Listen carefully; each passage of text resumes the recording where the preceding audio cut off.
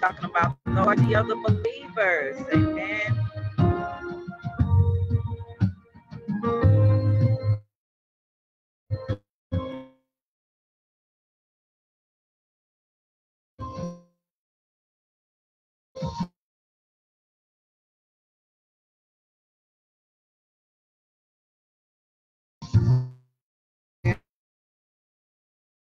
Share, share.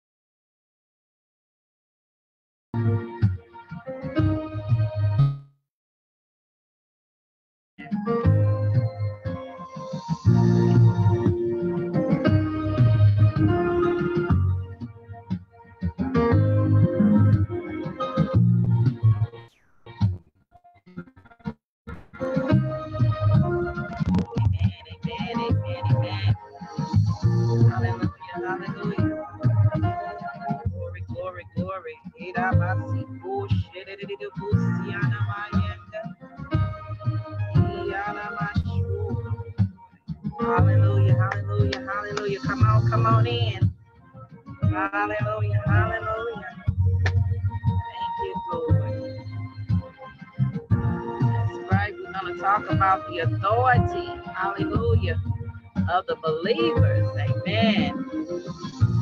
And I'm going to teach on using your authority. Amen.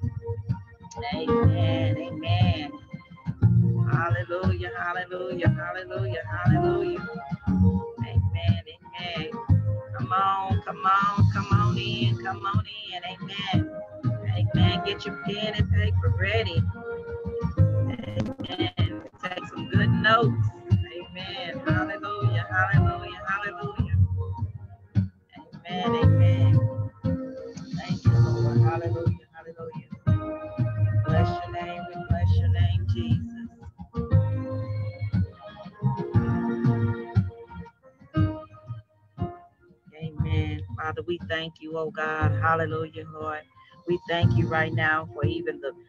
the words that we're going to be learning on tonight, the studying and teaching on today, that we get more understanding, more of your wisdom, more revelation, oh God, to begin to divide the word, oh God, begin to understand and apply the word, oh God. Father, we thank you right now that you has given the believers, oh God, hallelujah, even the, the born again children of God, power and authority here on earth, oh God. You said that you had given us the authority to trample over serpents and scorpions and over all of the power of the enemy, and nothing shall by any means hurt us, oh God. I thank you, oh God, Lord, that even now that you are not only uh, came to save us, oh God, but you also came to give us power and authority, oh God. Hallelujah, Lord. We thank you, oh God, that you have died for us, oh God, in order for us to have freedom, that, that you desire is that we will live a life abundance in every area of our lives, oh God, in the mighty name of Jesus. And I declare today, tonight, based on your word, oh God, as a believers, that we are we have the authority and the power over the devil, oh God. I thank you, oh God, and I can declare that the devil is subject to us as believers and that we that we that he, hallelujah, must uh, uh, must bow down, must obey uh, uh, your word, oh God. When when we when we speak, oh God, hallelujah, your word, hallelujah, in the mighty name of Jesus, I declare right now that the devil is subject to the words of the believers speaking when they lined up with your word, oh God, in the name of Jesus, oh God. And I declare right now, based on your word, that the devil is subject to the believers' rights, and and we cannot take them away from that. Can they cannot take that away from us, oh God, in the mighty name of Jesus. Hallelujah, God. I thank you, God, that we can declare to the Lord that you are a God that we will praise you and we will exalt your name on high, oh God in the name of Jesus, oh God. I thank you that we are, hallelujah, that you are the enemy, the feet foe, oh God, and he is under our feet, oh God. I thank you, oh God, that you have rise, rise up these warriors, oh God, in this season, oh God, these intercessors, oh God. You are bringing them forth in the mighty name of Jesus to come together as well as unifying us, oh God, on one accord in the mighty name of Jesus, oh God. I pray, Father, even now, Father, Hallelujah. That you will, we will rise up together, oh God, and you will make us sit with you in that heavenly places, oh God, far above the darkness and the principalities of the world, oh God. It said far above, oh God, all rulers, uh, rule, rule and authority and power and dominion and every uh, name that is named not only that in this age, but also the one to come. You, Lord, have made us more than overcomers, oh God. Hallelujah. Yes, we overcome. We can overcome, oh God, uh, the uh, overcome by the blood of the Lamb, oh God, and the word of our testimonies, oh God. And they they will love not their lives to the death, oh God. Hallelujah, oh God. Thank you, Lord. Hallelujah for loving us, oh God, for all your kindness towards those that love you, oh God. In the name of Jesus, oh God, we bless your name, oh God. We give you the glory. We give you the honor that is due unto you, oh God. We pray, Father, even now that you will show up and show out in this teaching, in this class, and on tonight, oh God, that chains are being broken, oh God. Hallelujah. Walls are being broken now. Hallelujah. Been breaking, broken down in the mighty name of Jesus, oh God. And we put everything under the submission of the blood of Jesus, oh God, as we yield these vessels into the Holy Spirit, oh God. In the name of Jesus, I pray, Father, right now, Father, freedom, hallelujah, and deliverance is taking place, oh God. Healing, miraculous power by hallelujah, Lord, is, is in this place, oh God. In the name of Jesus, oh God, we thank you in Jesus' name. And I declare and decree that everything is must line up with the word and the will of God. In Jesus' mighty name we pray. Hallelujah. Amen. Amen. Amen. Amen. Well, good evening. Good evening, everyone. Praise God. Praise God. Hallelujah for your showing up today. Amen. Amen. Taking time out of your schedule to get on board, get on board. And we thank God for you. Amen. So we're going to go ahead and get started. And we're going to talk about last week lesson in chapter two. Remember, it's not too late to get you guys to get your books. We ordered, some have ordered theirs through Kindle and Barnes Nobles, and I got mine through uh, Amazon. And the book is called Over Overcoming Familiar Spirits by Dr. Bridges. And I'm telling you, this is a good book to have in your library. Amen. It's a good tool to add to your tool belt. Amen. And so uh, definitely try to go ahead. It's not too late. We got 11 more weeks to go before we complete this book. So get get on in, dive on in, get in where you can fit in. Amen. Amen. Don't don't worry about if you you know the class is too late for uh behind and everything. Listen, God know exactly where you needed to be. Amen. And the time frame and the, the perfect word that's coming forth is designed and telemated for you. Amen. Amen. So we're going to talk about last week uh lesson on chapter 2 that uh we talked about spiritual debt collectors. And then for the bonus notes that I gave them was called I, I I don't know if I gave them the title or not, but I I think the title will be don't be uh don't uh be uh what was it? Don't be uh don't bury don't be buried with the dead. Don't be buried with the dead, okay? And um, and also the scripture uh, I think I came out was First Samuel 26, uh, and they supposed to read the chapter seven, I mean verse seven through 25 for homework as well. All right. Well, Liz, if you could go ahead and share with me on last week lesson, bring me a brace on what we uh learned. Amen. God bless. Right, right on. You came from um First Samuel 26, 7 through 25. First Samuel 26, 7 through 7 through 25. And it's like the spirit of manipulation that Christians can start to get desperate. And we cannot get in God's way. And God departed from Saul, and that obedience is better than sacrifice, and serve God and be obedient. And make a conscious decision to serve God. We have to submit to God and study the scriptures. And that definitely we have to quit dibbling, dip and dabbling in strange fire. And that how sin leaves an open door and that when you open the door, demons bring his posse and a whole bunch of stuff with them. And that sin that sin brings demonic trafficking, and that Christians can be harassed by demons, and that spiritual bloodlines can overwhelm physical bloodlines, and that spiritual bloodlines caused by the natural. And that every sickness in your body is 100% 100% caused by demons, and that we need to kick Satan and his demon forces out and, and then watch the change in your health. And that we need to give, we need to quit giving the demons legal access. And then speak the word, use the scriptures, legal ground and every right because of what you spoke. And agreement. Spirits of the dead at familiar spirits. Job 7 and 9. Job 7 and 9. And the dead cannot return to the house they once lived in. And that that haunted the houses that are haunted actually filled with demons and that demons do serve a little g. And that satan has the master of deception. Second corinthians 11 14 through 15 second corinthians 11 14 through 15 and how satan masks around as light. Familiar spirits is an unclean spirit. And that how saul was supposed to destroy the, the philistines. And that the word must continue to go forth, and that symptoms of a familiar spirit is feeling fatigue, chronic illness, irritability, crankiness, unhappiness, anger, rage not previously presented, drugs, alcohol, pornography, lust, gluttony, mental disorders, nauseated stomach illnesses, um, sudden behavior, personality changes, heaviness or pressures, and feeling as we are being dragged, negative outlook. And then you talk about against meanings was the first one, like angel cards, psychic, read, psychic readings. Deuteronomy 18, 9 to 12. Deuteronomy 18, 9 to 12, and that we cannot be deceived by those demons. They will affect your children and future children generations, and that we have to be the curse break in our families, and that we have to deal with the strongholds, and that that will affect your bloodline, and that how the Lord warns his people against consulting with mediums and those familiar spirits. Leviticus 19 and 31. Leviticus 19 and 31, and give no regards to mediums. 1 Samuel 28 and 6. 1 Samuel 28 and 6, and John 10 10.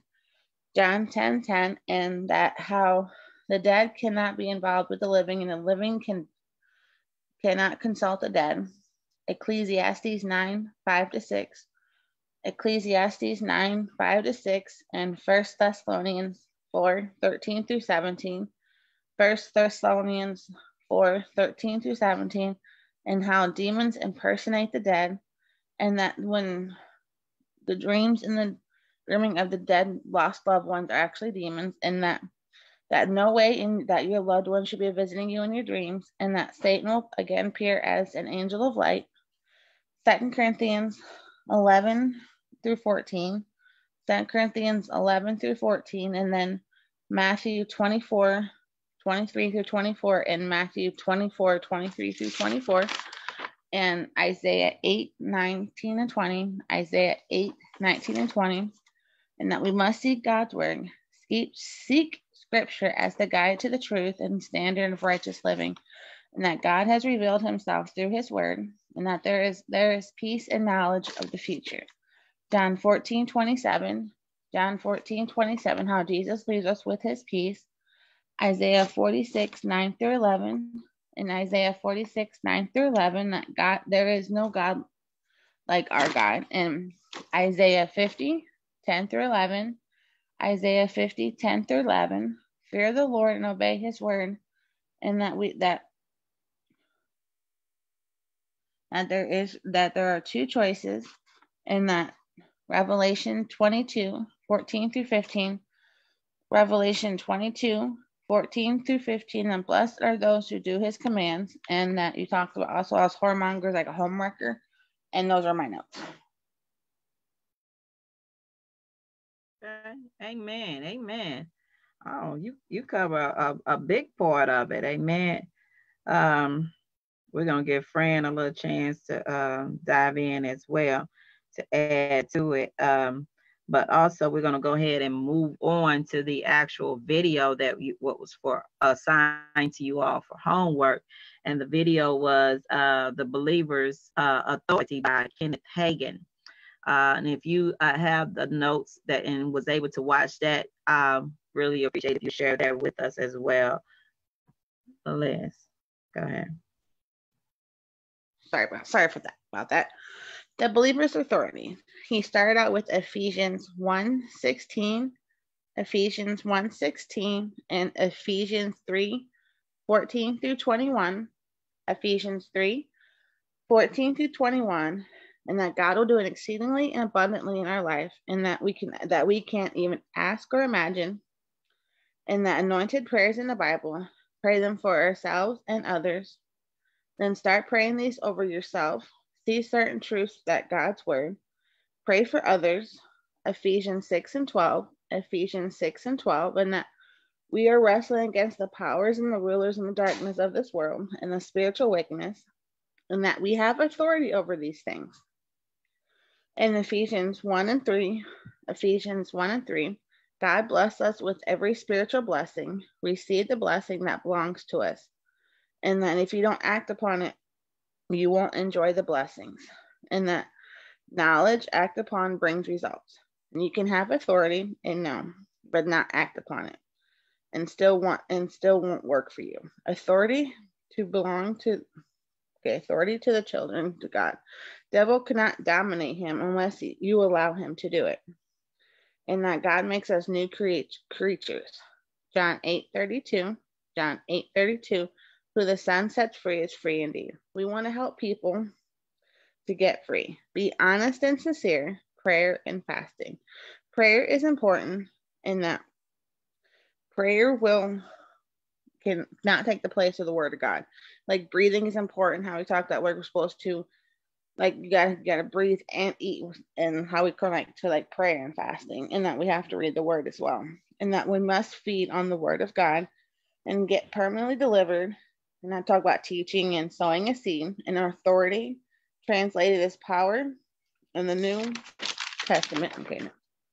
And that you shall know the truth and know the truth and set you free. Teach people the truth, and that God God's word brings forth results. Luke 10 and 19. Luke 10 and 19. Power and authority. The first one in scripture is really the word of authority and power, and that we have to recognize that authority. Ephesians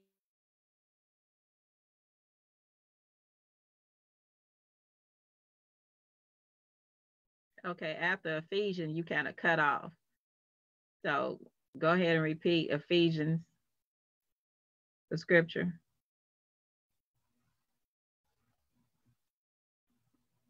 Okay. So, okay, so you got you got cut off there, Liz. So um just let me know when you're back. Amen. Amen. So again, uh, we're talking about the believers authority. And the video that we uh, had for homework was by uh, Pastor Kenny uh, Kenneth Hagin as well. So uh, she was just summarizing her notes and everything. So she got kicked out. So we're gonna go ahead and go ahead and keep moving because we all we got a lot to cover tonight, and we want to get that get get it out and done within our time frame. We normally classes lasts for two and a half hours. Uh, so we talked about the video. We talk about the actual last week of what the uh, the the class we uh, the chapter we read previous, and that previous class, of course, was about the spiritual debt collectors. Okay, sorry, Amen. Sorry, sorry about that.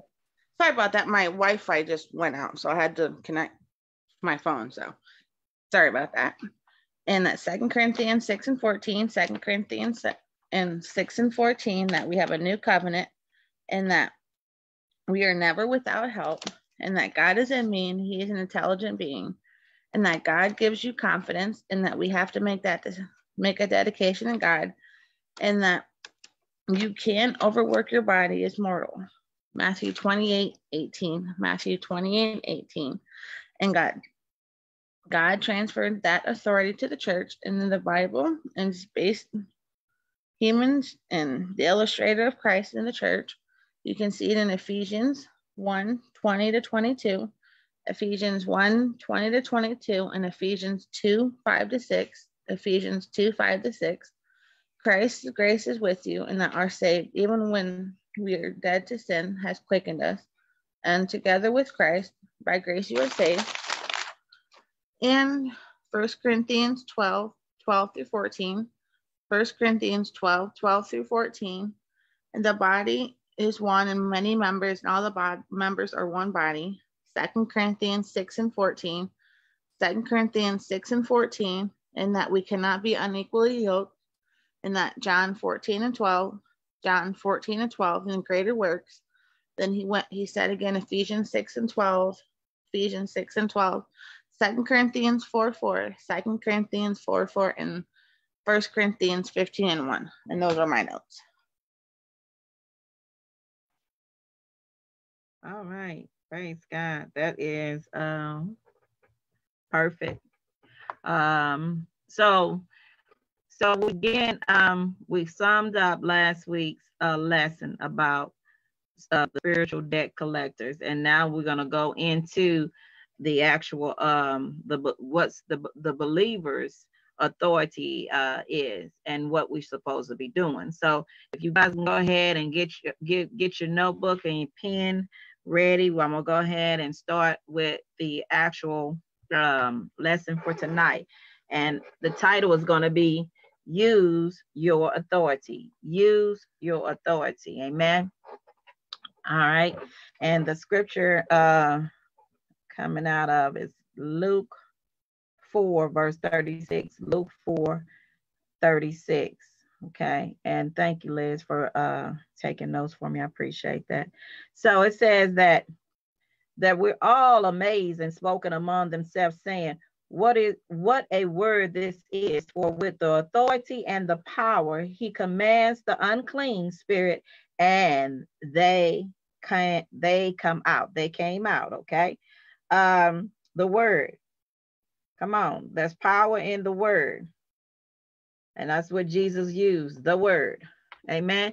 And then knowing that, um, for example, um, it said uh, the unclean spirits came out. Now, when you're doing uh, deliverance and you're binding up the spirit, the Holy Spirit can also um, make it known to you what specific spirit that uh, the individual was dealing with, such as uh, if it's dealing with a lust spirit, a fear, or anger, rebellion, pride, or even control. Okay. So that, you know, you can also uh, command that those specific, you know, spirits out as the Holy Spirit leads you. But Jesus just made it very simple. Unclean spirit, anything unclean um, basically means anything that's sin. Any any type of sin is unclean. Period. Bottom line.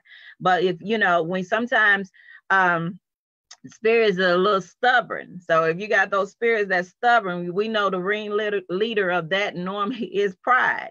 So pride is connected to um, stiff neck, hard hardened, uh, stubbornness, arrogance. So uh, that is one of the things that we talk, you know, we, we'll talk about on a later date, you know, that uh, spirit. But also, Jesus, uh, um, the, the go on, Jesus had just cast out an unclean spirit from a man by exercising his spirit, spiritual authority. And um, eco, exousia is the Greek word means the power or or ruler of or government that delegates uh, the le- legal rights to speak and the act of behalf of a king. Okay, see the authority is delegated and and the legal rights to speak or initiated uh, actions as well. So, example, a uh, police uh, man in a uniform has the de- uh, has the delegate the right to what speak and act on the behalf of the government okay? Uh, and then we'll go into power. We're going to next word is power. And dom, uh, don, um, um, is the greek word for the supernatural strength and ability to carry out a task. Amen and Jesus received his authority from his what? Heavenly Father as part of his commission. So through intimacy, ladies and gentlemen, and obedience, he maintained his authority and power. Amen. So John 5 and 19 talks about this. John 5, verse 19 says, Jesus gave them this answer Verily, tr- very truly, I tell you, the Son can do nothing by himself. Um, he can do only what he sees his father doing, because whatever the father does, the son also does. Amen. Amen.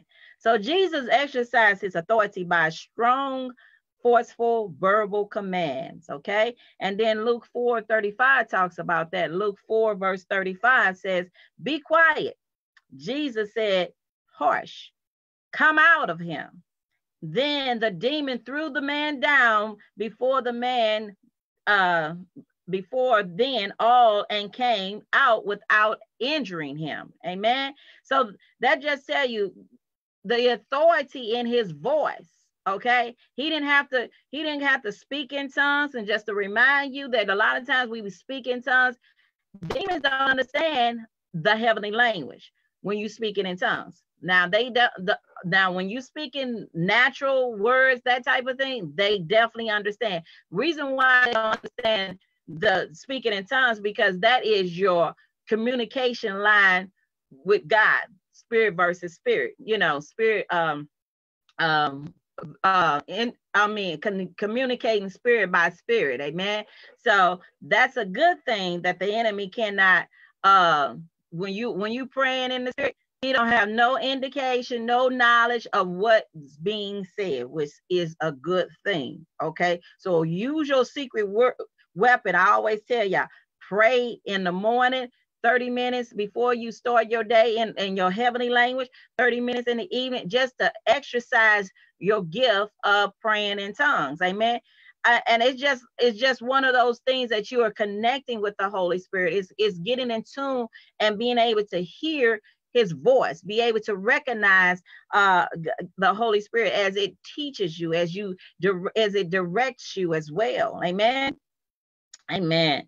So the power of jesus demonstrate was the holy spirit flowing through him. Matthews 12 verse 28 matthews 12 verse 28 it said but if it is by the spirit of god that i drive out demons then the kingdom of god has come upon you.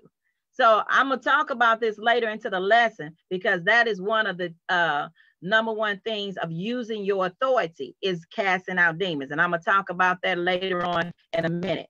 Okay, but number one, I want you to know that using your authority for the physical protection, using your authority for physical protection. Amen. And that's Second Samuel 22, verse 3. Second Samuel 22, verse 3.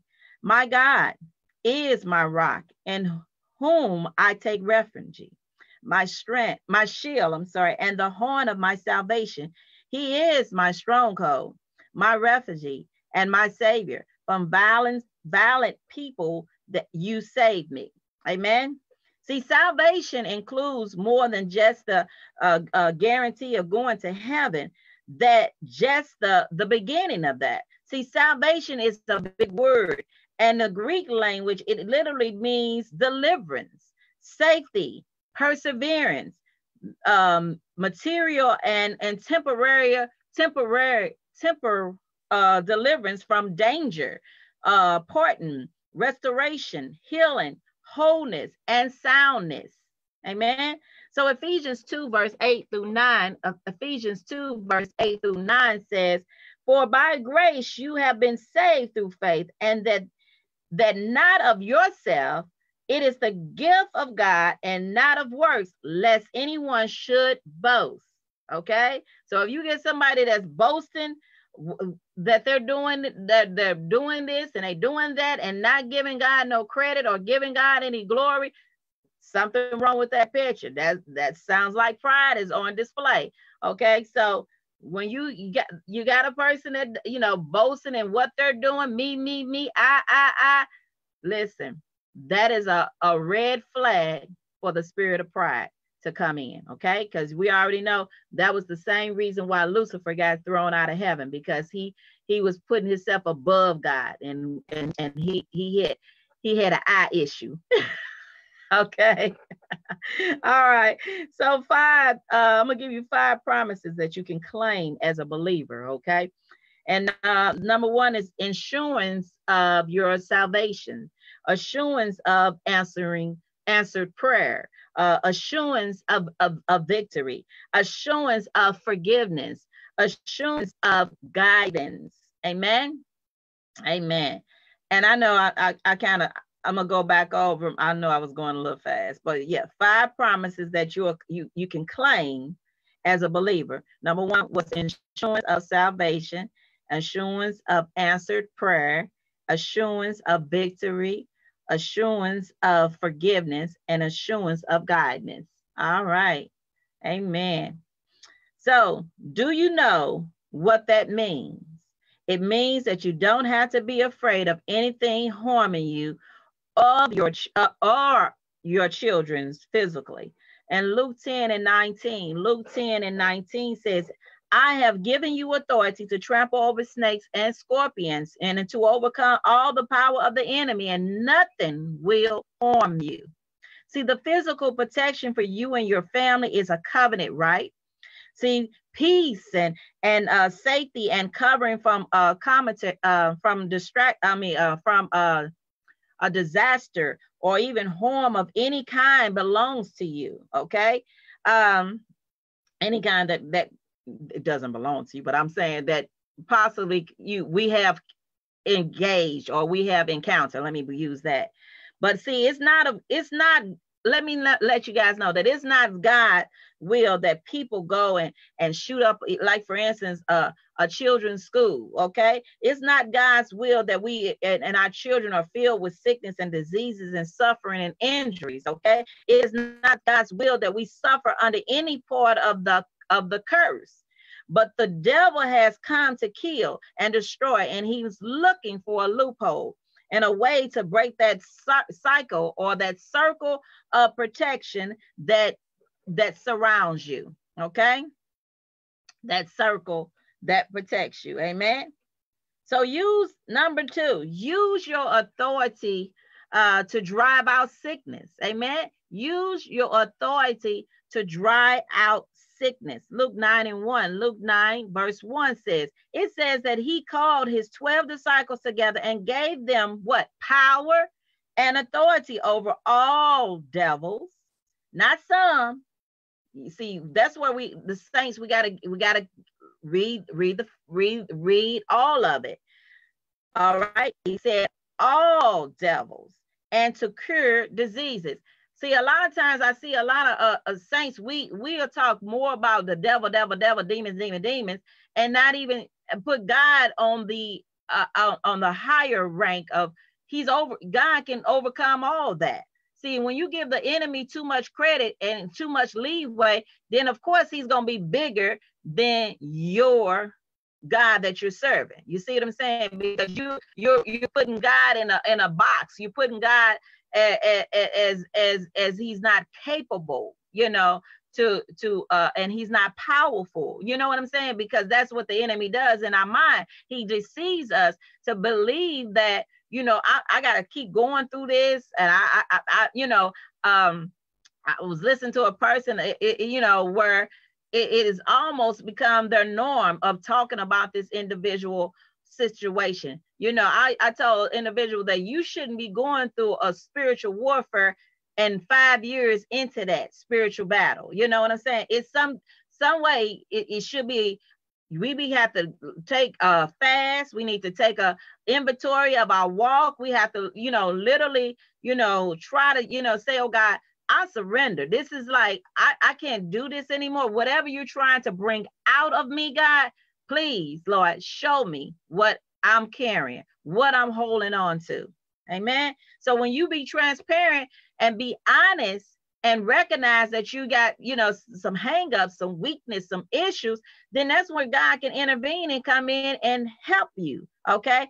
So So that, that's what we talk about it when the sickness. That's just like was if you holding on unforgiveness, that's a door opening for sickness to come in. Okay, that is literally a a a, a, a um, a part of, of, of, of attacking your immune system when you hold on to unforgiveness. Unforgiveness, then there's hardness of the heart, there's bitterness, resentment, and etc. Okay, so he said to them, they were to what? Preach the kingdom of God and to heal the sick.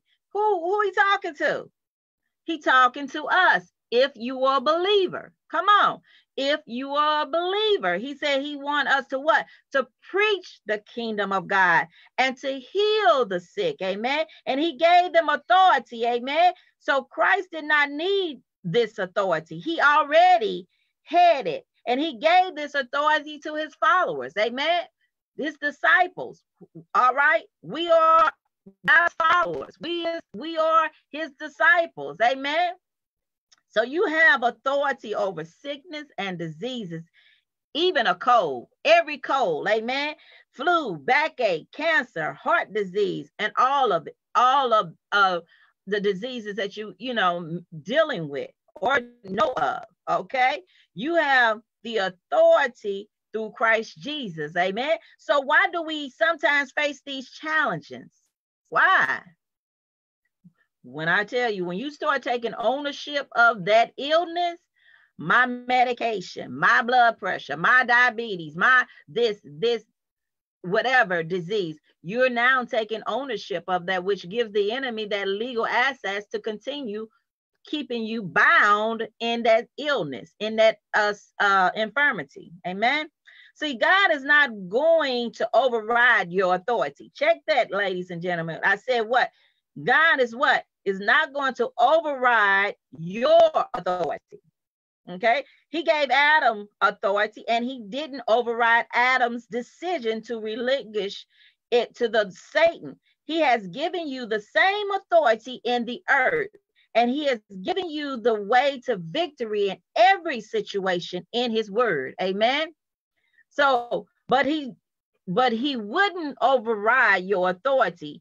He will let you die sick. If you choose to do so, you would have to ignore every healing scripture.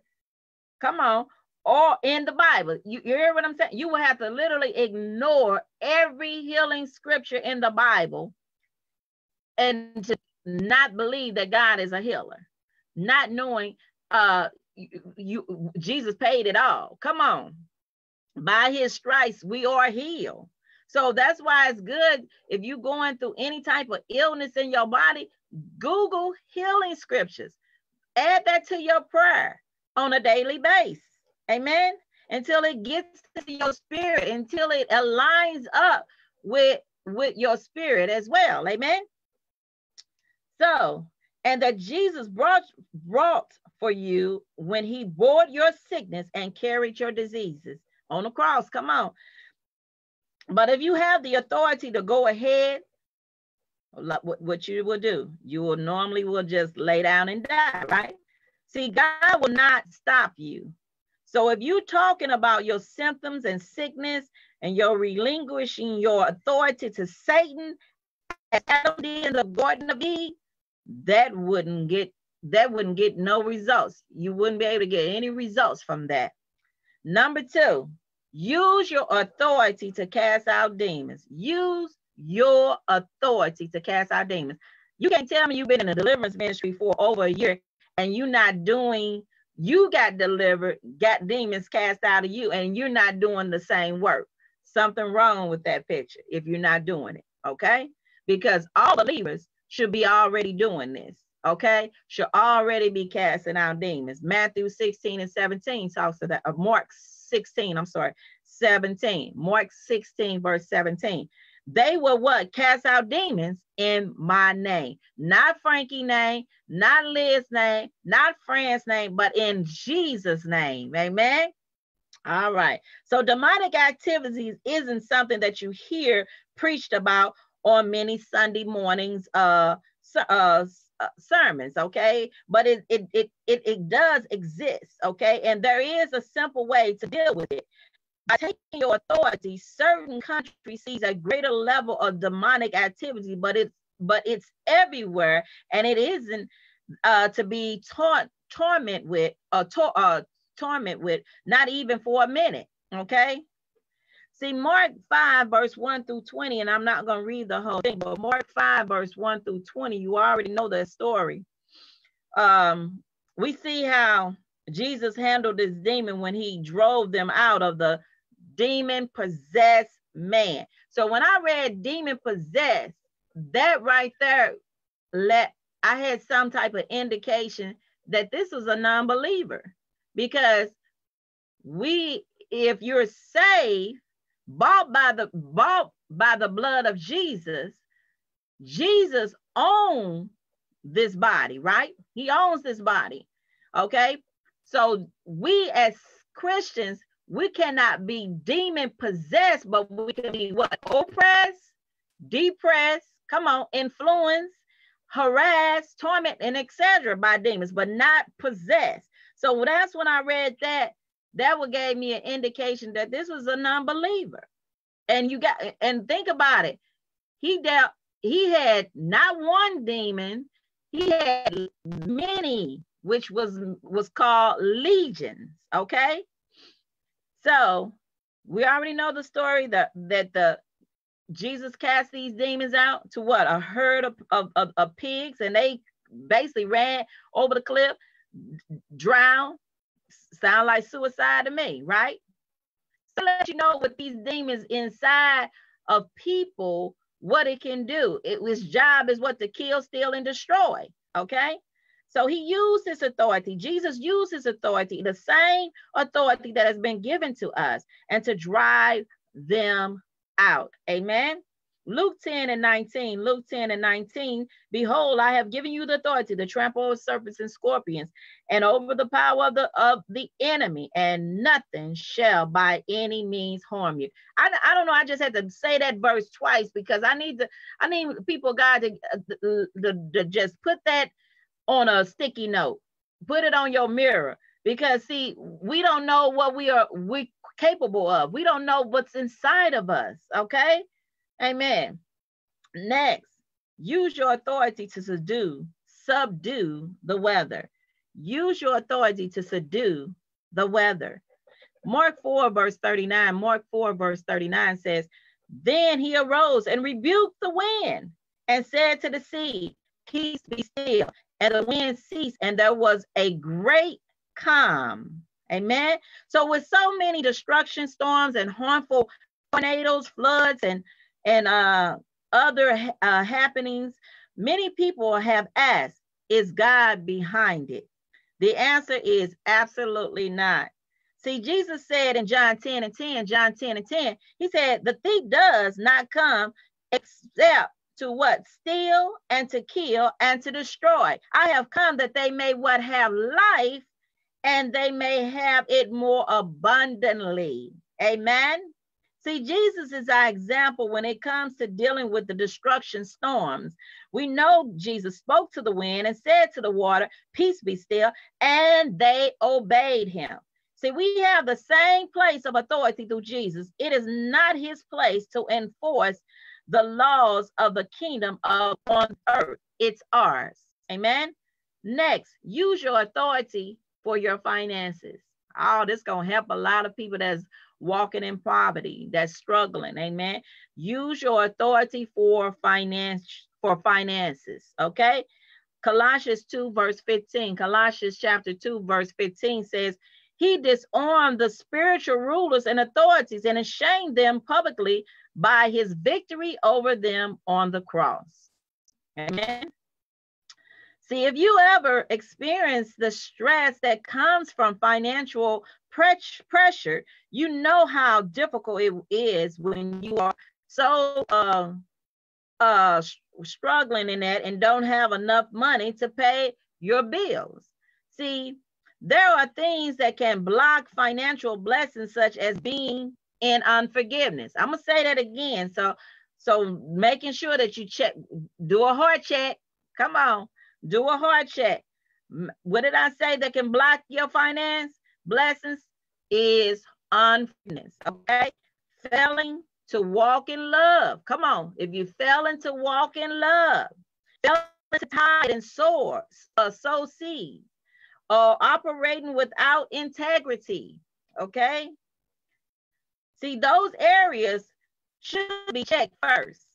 But if everything is in the line with the word of God, you may be facing an attack of the devil on your finances. He comes to what? Steal, kill, and destroy. And he does not want you blessed. So here are here's the good news of this, guys. See, Jesus reduced principalities and powers to nothing. He took away the devil's power to do- dominate us, to dominate um, the enemy in, in, in any way. Okay. He took, okay. He took away the devil's power to dominate us in any way. So, including in the realm of our finances, our job is to act on the truth. Okay. As long as we like the devil, has, you know, if you hang out with the devil, if you entertaining the devil, if you promoting the devil, then it what? It has power over our finances and his he will. Okay? But if you believe in your heart and confess with your mouth what God's word says about your finances, you will be taking authority and you will get what you need. Amen.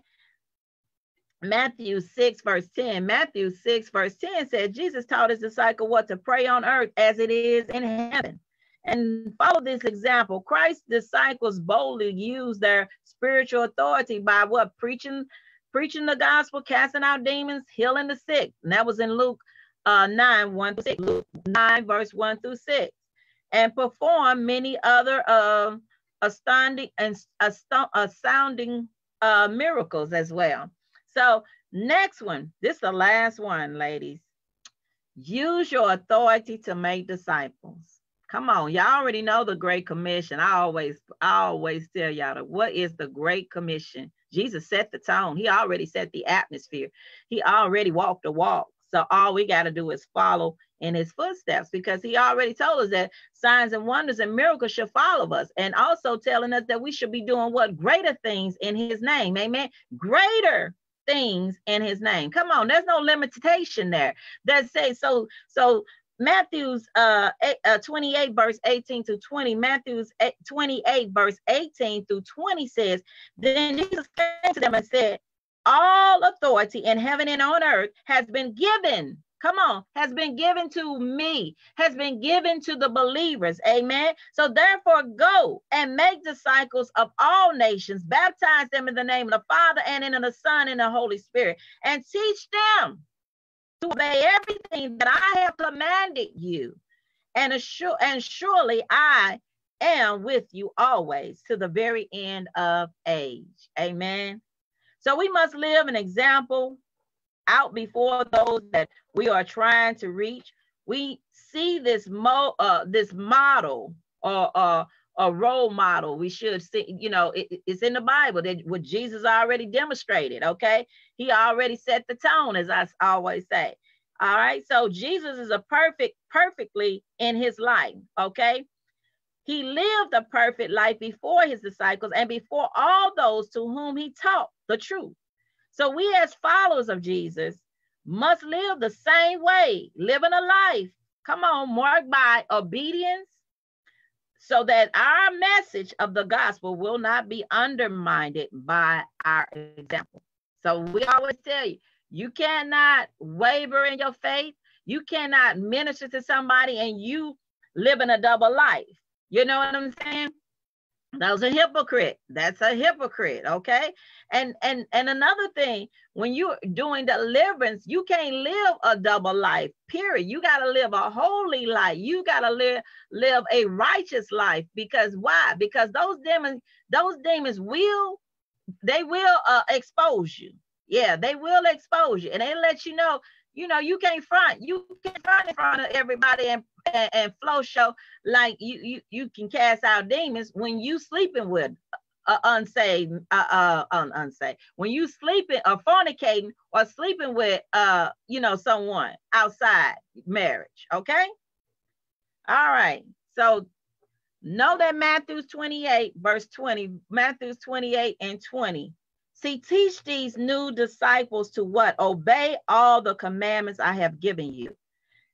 I want to kind of kind of go back on that a little bit more because see, if you're in healing and mending ministry as a leader here, our job is to send you out, make disciples so you can recycle, recycle, meaning making other disciples as well, giving what you have learned, giving, you know, and that's why when they they're working with me uh doing deliverance, my ministry team uh, and leaders, they're able to do the same thing when they guess what? Because God gonna see, I almost said God gonna test you and see if your training is in vain. If you learn where you've been sitting under, now you're going to be able to utilize the, the, the gifts and what God has taught us when it comes to uh, making disciples, when it comes to casting out demons. Amen. So you will get sometimes you get that one-on-one training with your family or with your friend, you know, however, however, okay. But you will get that training one way or the other. That's why I tell my team, you have to be ready in season as well as out of season. Don't ever say that you're not capable. Never say that I, I I I need to sit under a little longer. No, you got the Holy Spirit resides in you. So if you depend on the Holy Spirit, guess what? The Holy Spirit gonna teach you. The Holy Spirit gonna guide you. The Holy Spirit gonna push you on into that into that fire. I almost said into that fight, but yes, yeah, and to the point that you you you're gonna know that no harm is gonna come against you. You're not gonna smell like smoke. You you you can go in the flood and not drown. You can go in the water and not drown. You know that's the scripture right there. No harm will come against you. Amen. So again, teach these new disciples to obey all the commandment that I have given you. That's the word of God. Give them the biblical basic. Give them the biblical foundation. Don't give them no no no stuff that you you you you you know that that others them other books and stuff. What I mean other books, you know, they got so much these new age books and satanic books and things of that nature. You want to keep it in the in the basic, the word of God, and that's the basic. That's where you want to build from the basic foundation, and as and that is the word of God. Amen. Now, see, the process of what we can discipleship is to be a model after Jesus' example with his own disciples. So while this would seem obvious, unfortunately, uh, the contemporary church has greatly neglected it. See, Jesus entered into the relationship with his with his with his men, and he trained them on the job. See, over the course of his ministry on earth, the disciple observed him and questioned him. He shocked them. Come on, he shocked them all, right? And he scared them. He explained his his his teaching to them and then asked them to try it out for themselves. Come on, he sent them out. He sent them out, didn't he? He sent them out in twos. Come on, he sent them out in 70. He sent them out. And they were connected to him through his belief in them. So the authority of his of his call and the power of his life and his clear focus of his mission is to seek and save. Luke 19 and 10, Luke 19, verse 10 said, For the Son of the Man is come to seek and save that which was lost. Amen. Amen. So let's go ahead. We're going to do this renunciation real quick. What's my time frame? Amen. Amen. All right, we can probably do it in six minutes in Jesus' name. Seven. I say seven. Okay. Don't want to rush this. So I want to say we're gonna go uh, repeat this prayer after me. It's a renunciation prayer. And if you have anything going on, heat, coldness, tingleness, uh, burping, teary eyes, yawning, whatever, gassy, whatever it is, just put it in the chat for me as well. So we know that you're getting free. You're getting free. But basically, we sending those them them little spirits back to dry places. We send them wherever Jesus may send them. Amen. Amen. So first repeat after me. I am redeemed from the curse of the law. I break all generation curses of pride,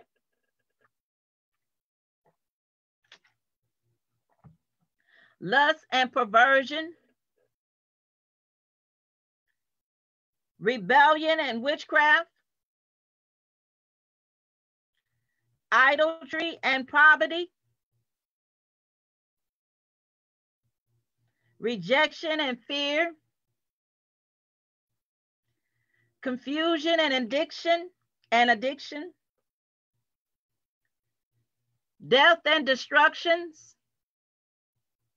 in the name of Jesus. Think of anything that you're dealing with. Okay? Put it in there. In the net, put it under the blood, in the blood of Jesus, in the name of Jesus. If it's fear, come on. Whatever it is. I command all generational spirits that came into my life during the conception, conception in the womb, in the birth canal, and through the umbilical cord to come out in the name of Jesus. I break all spoken curses and negative words that I have spoken over my life in the name of Jesus. I break all spoken curses and negative words spoken over my life by others, including those in authority in the name of Jesus. I command all ancestries, uh, uh, descendants or ancestors, spirits of Freemasonry, idolatry, witchcraft, false religion, lust and perversion to come out of my life in the name of Jesus. I command all perverted spirit of lust, rejection and fear, sickness, infirmity, diseases and anger, hatred and confusion, failure and poverty to come out of my life in the name of Jesus. I break the legal rights of all generation spirits operating behind the curse in the name of Jesus. You have no legal right to operate in my life. I bind and rebuke all familiar spirits and spirit guides that will try to operate in my life, my, my ancestors, in the name of Jesus. I renounce all false beliefs, systems, philosophies inherited by my ancestors in the name of Jesus. I break all curses on my finances from my ancestors that cheated or mishandled money in the name of Jesus. I break all curses of sickness and diseases and command all in um was that? Uh, oh, inherited the sickness and diseases to leave my body now in the name of Jesus. Through Jesus, my family is blessed. Repeat that. Through Jesus, my family is blessed and protected. I renounce all pride inherited from my ancestors in the name of Jesus. I break all oaks and vows and pacts made with the devil by my ancestors in the name of Jesus. I break all curses by agents of Satan spoken against my life and secret in the name of Jesus. I break all written curses that will affect my life, my family, my marriage in the name of Jesus. I break every time release curse that would activate in my life as I grow older in the name of Jesus. I break every curse of Balaam hired against my life in the name of Jesus. Lord, turn every curse spoken against my life into blessings. I break all generation rebellion that will cause me to resist the Holy Spirit. I break all curses of death spoken by people in authority in my nation, over my nation. In Jesus' name, let the saints say, Amen. Amen. Hallelujah. So uh, go ahead and put in the comment on Facebook as well as in my Zoom if you hit any type of manifestation. Ha, my God. Go ahead and put that in there. Burping, gassing, yawning. Come on, teary eyes.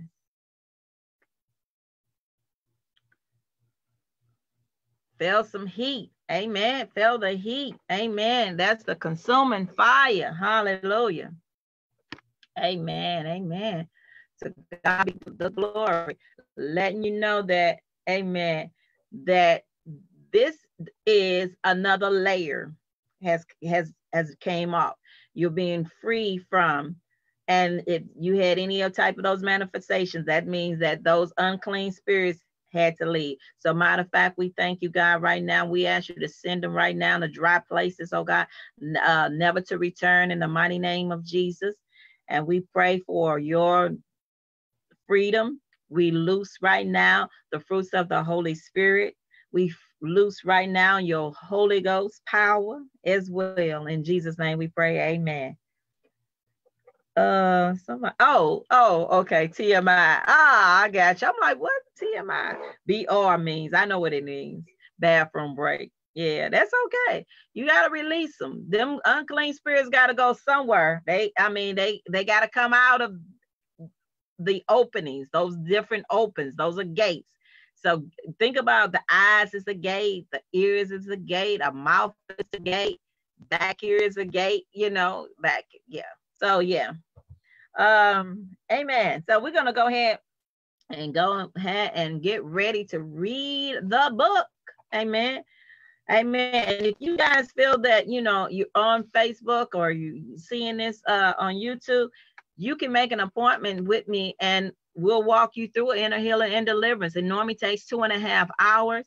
Um, we actually have a form to, for you to fill out as well, which will help you uh, and help us to allow you to get to the root or what uh, happened throughout your childhood. Trauma as well has causing to bled over into your adulthood which is causing you to struggle which is causing your faith to be waver you know it's a lot of things. Blocking could be blocking you from getting your freedom. So amen. So again email me or inbox me through Facebook Messenger or on YouTube if you're serious and you're desperate of a change and want to be free. Amen. This is what healing and deliverance is all about. Amen. And this is what Jesus came to do on the earth. Amen. Amen.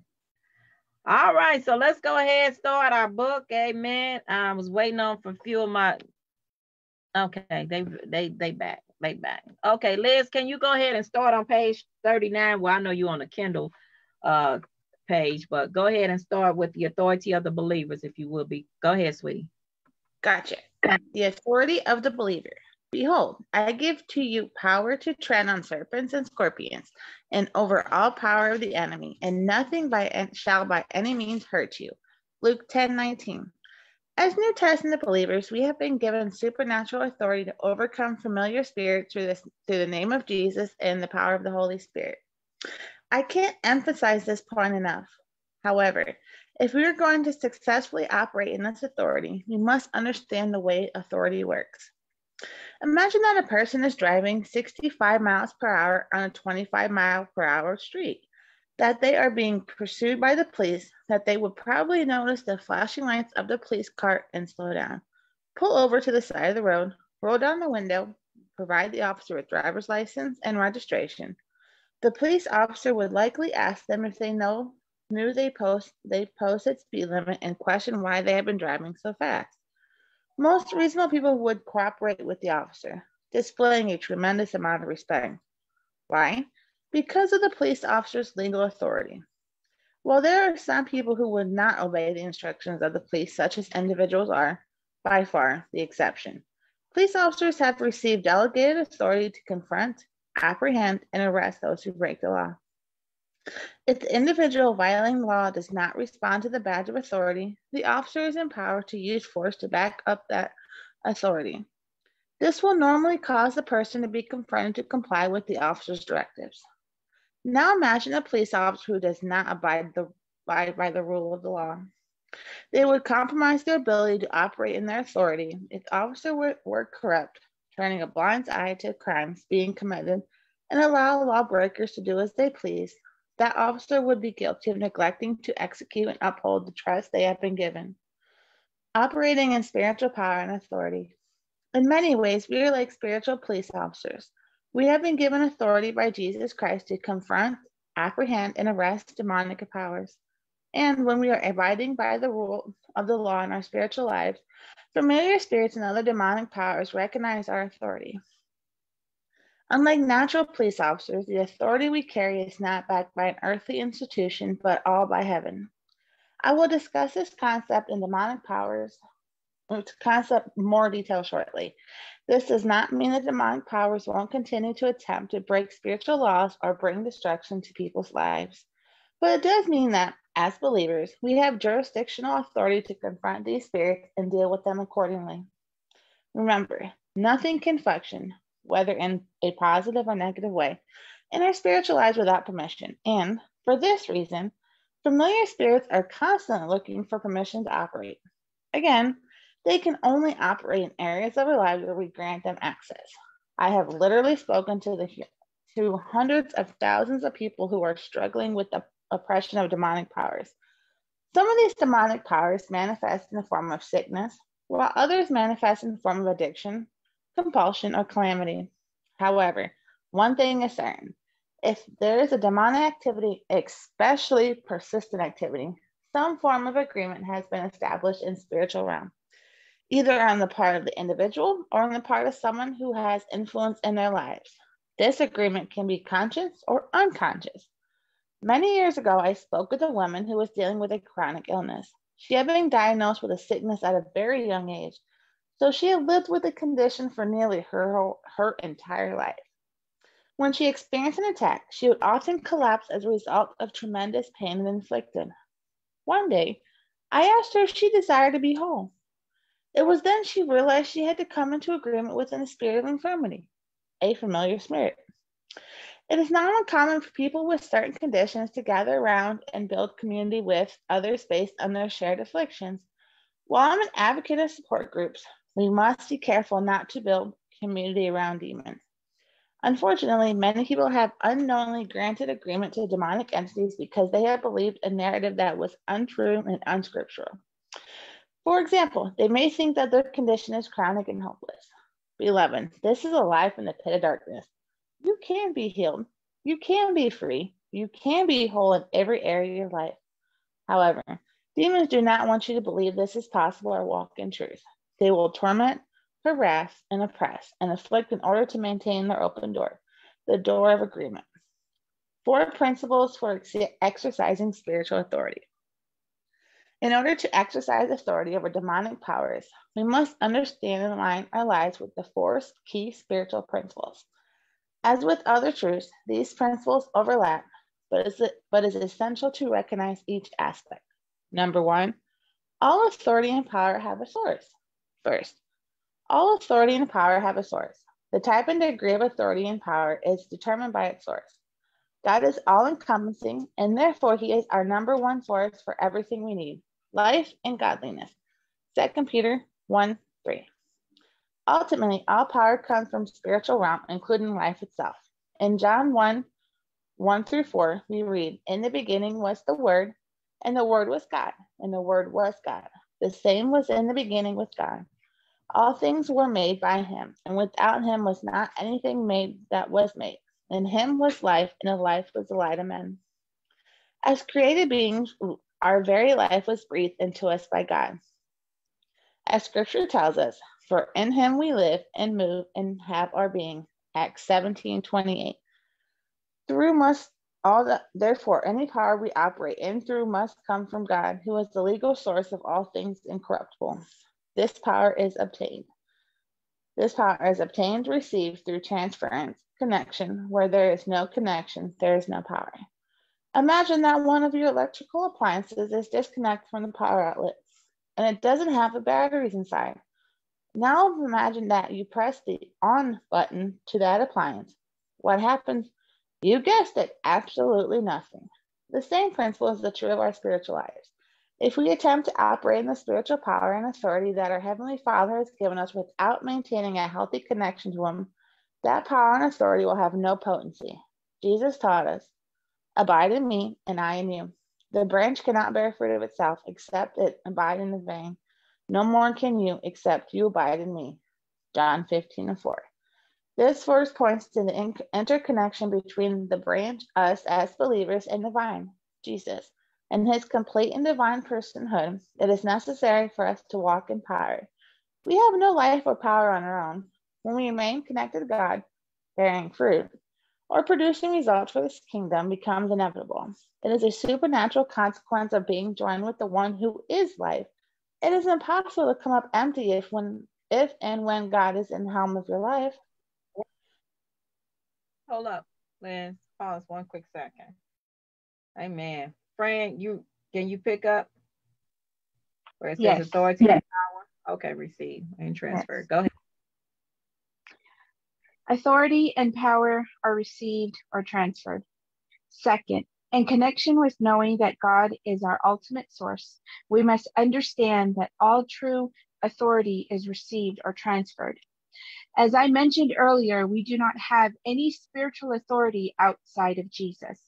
We have to experience a level of pressing of revelation that brings us to a place of conviction that without Christ, we can do nothing. See John 15 and 4. Without transference from the one and only, all powerful living God, we can have no real sustainable power. In fact, if we operate in any other supernatural or natural power that does not align with the word of God, that power is illegal, illegitimate, and can bring people under submission to the influence of demonic spirits. Contrary to what may contrary to what many believers think, sitting in a pew in a church is not a qualification for receiving God's power. How do we know this?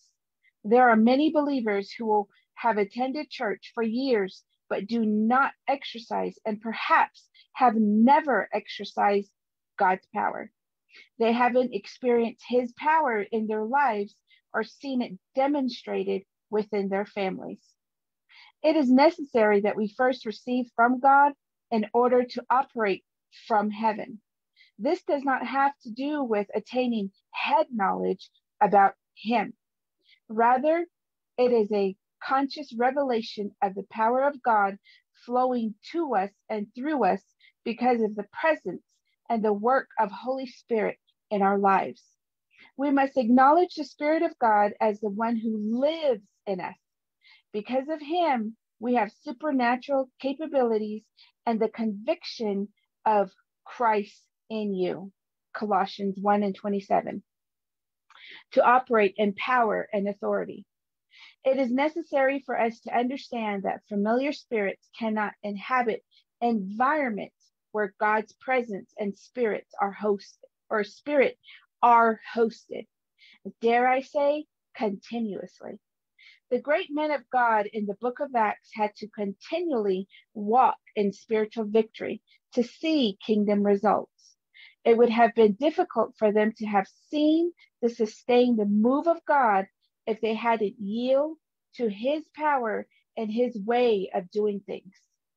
Just before Jesus ascended to heaven, he told his disciples to wait in Jerusalem until they had received heavenly power. And behold, I send the promise of my Father upon you, but tarry you in the city of Jerusalem until you be endued with the power from on high. Luke 24 and 49. But you shall receive power. After that, the Holy Ghost is come upon you, and you shall be witnesses to me, both in Jerusalem and all Judea and in Samaria and to the utter, uttermost part of the earth. Acts 1 and 8. After Christ's resurrection, it was necessary for his followers to receive God's Spirit in order to be able to function in the same way he had when he walked on the earth. Acts 10 38 Acts 10 and 38 reminds us God anointed Jesus of Nazareth with the Holy Ghost and with power, who went about doing good and healing all that were oppressed of the devil, for God was with him. The level of authority and power that is transferred is determined by the strength of what is delegated. In the Gospels, Jesus referred to delegated power when con- when con- commissioning his disciples. Behold, I give to you power to tread on serpents and scorpions and over all the power of the enemy, and nothing shall by any means hurt you. Luke 10 and 19. And Jesus came and spoke to them, saying, All power is given to me in heaven and in earth. Go you, therefore, and teach all nations, baptizing them in the name of the Father and of the Son and of the Holy Ghost, teaching them to observe all things whatsoever I have commanded you.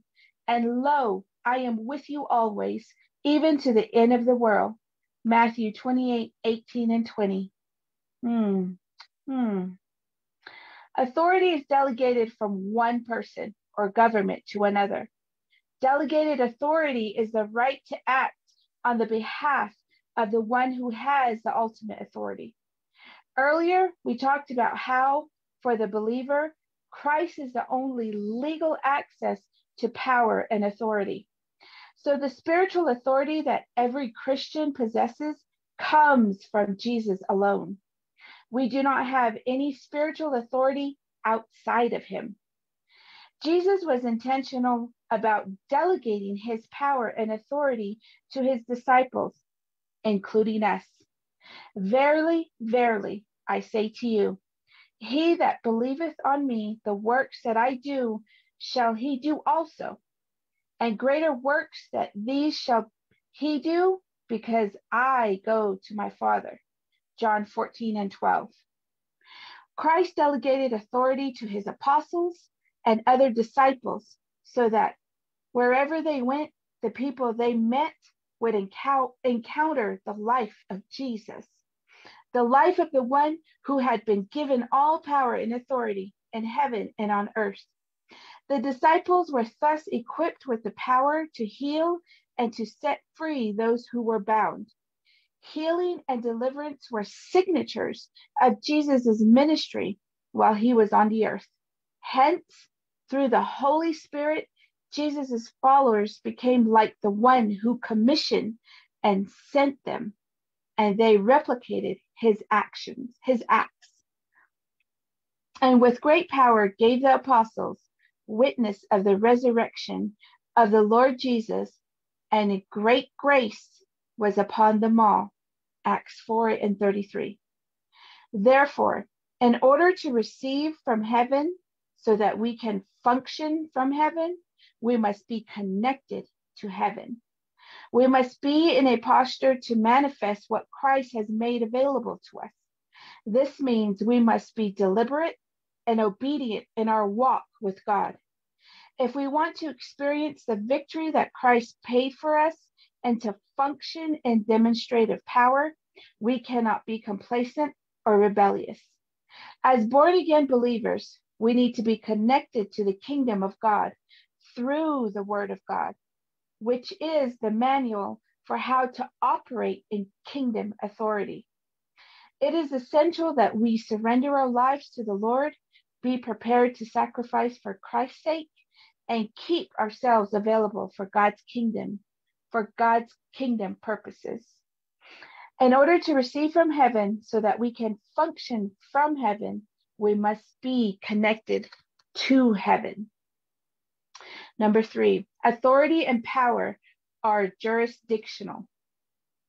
Third, we must remember that authority and power are jurisdictional. In chapter one, we discussed the word jurisdiction in regard to God's original mandate for human beings in the Garden of Eden, as well as in reference to the legal rights of evil spirits to our lives when we give them an invitation or opening. Let's review the meaning of the concept of jurisdiction.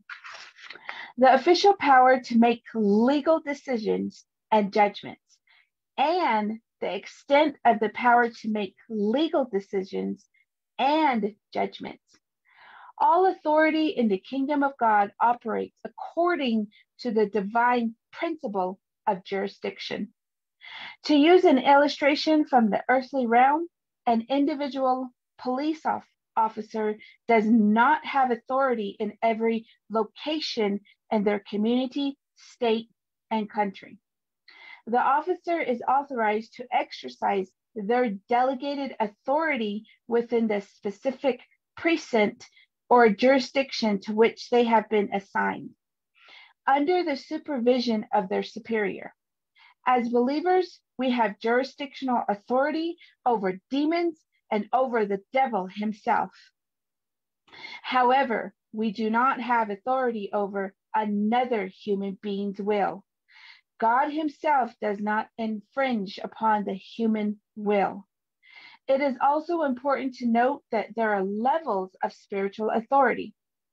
When Jesus declared, All power is given to me in heaven and in earth, Matthew 28 and 18, he acknowledged that the authority and power he possessed were granted to him by his heavenly Father. The Greek word translated power in this verse is exousia, which is often translated as authority. The Father was all was always the Son's source of life and power. Jesus also acknowledged the jurisdiction of his authority. In heaven, and in earth. He sent out the apostles with the same authority that he had. And if you had the same authority, it would stand to reason that the authority had the same jurisdiction. Woo, it's powerful. As Jesus followers, we too have been given authority in heaven and in earth. Hallelujah. Jesus, that ought to be good news to somebody. Amen. Jesus. Hallelujah. This principle has powerful implications, not only for individual believers, but also for the church as a whole. In Matthew 16 and 18, Jesus said, I will build my church. The Greek word translate church is ecclesia, which among many meanings refers to gatherings or legislature. The church is a spiritual community endowed with heavenly power and authority. We have been given the ability to legislate spiritual atmospheres. God has given the body of Christ authority over regions and territories. But when the church collectively concedes its spiritual authority, it can make room for the operation of demonic spirits. If we come into agreement with the plans of the enemy by making compromises and concessions, our towns and cities will be deeply impacted. Years ago, I was living in a crime ridden and drug infested neighborhood. There was a crack house across the street from my house. The people who occupied that crack house was engaged in trafficking and prostitution as well. One day, my mother in law asked me if I knew what was going on in that house. Of course, I knew what was going on, but I told her that we couldn't do anything about it. She quickly exclaimed, I thought you had the authority. I was both shocked and challenged by her reply. I said to myself, She is right. I do have the authority in Christ. That same day, I went to the edge of my porch and said, In the name of Jesus, I declare that this house is shut down, and then went back into my home. Two weeks later, the crack house was abandoned and it was eventually condemned by the city. We never called a single governmental agency about the problem, although there is nothing wrong with calling the authorities. Instead, we dealt with the problem spiritually. Imagine what would happen if churches all over America began to declare with authority that the trafficking and prostitution and crack houses in their various cities would cease and desist. As Jesus followers, we too have been given authority in heaven and in earth. Number four, authority and power have a cost. Fourth, we must be aware that there is a cost to operating in kingdom authority and power. It is not a passive stance. Authority only functions when you operate in the confines of the instructions of the one delegating it to you. This means we cannot be estranged from God's manual or word and maintain legal power to operate. If the enemy can disconnect us from our spiritual source, he can strip us of our power. Jesus Christ was aware of and deliberate in acknowledging the source of his power. Then Jesus, then answered Jesus. Woo.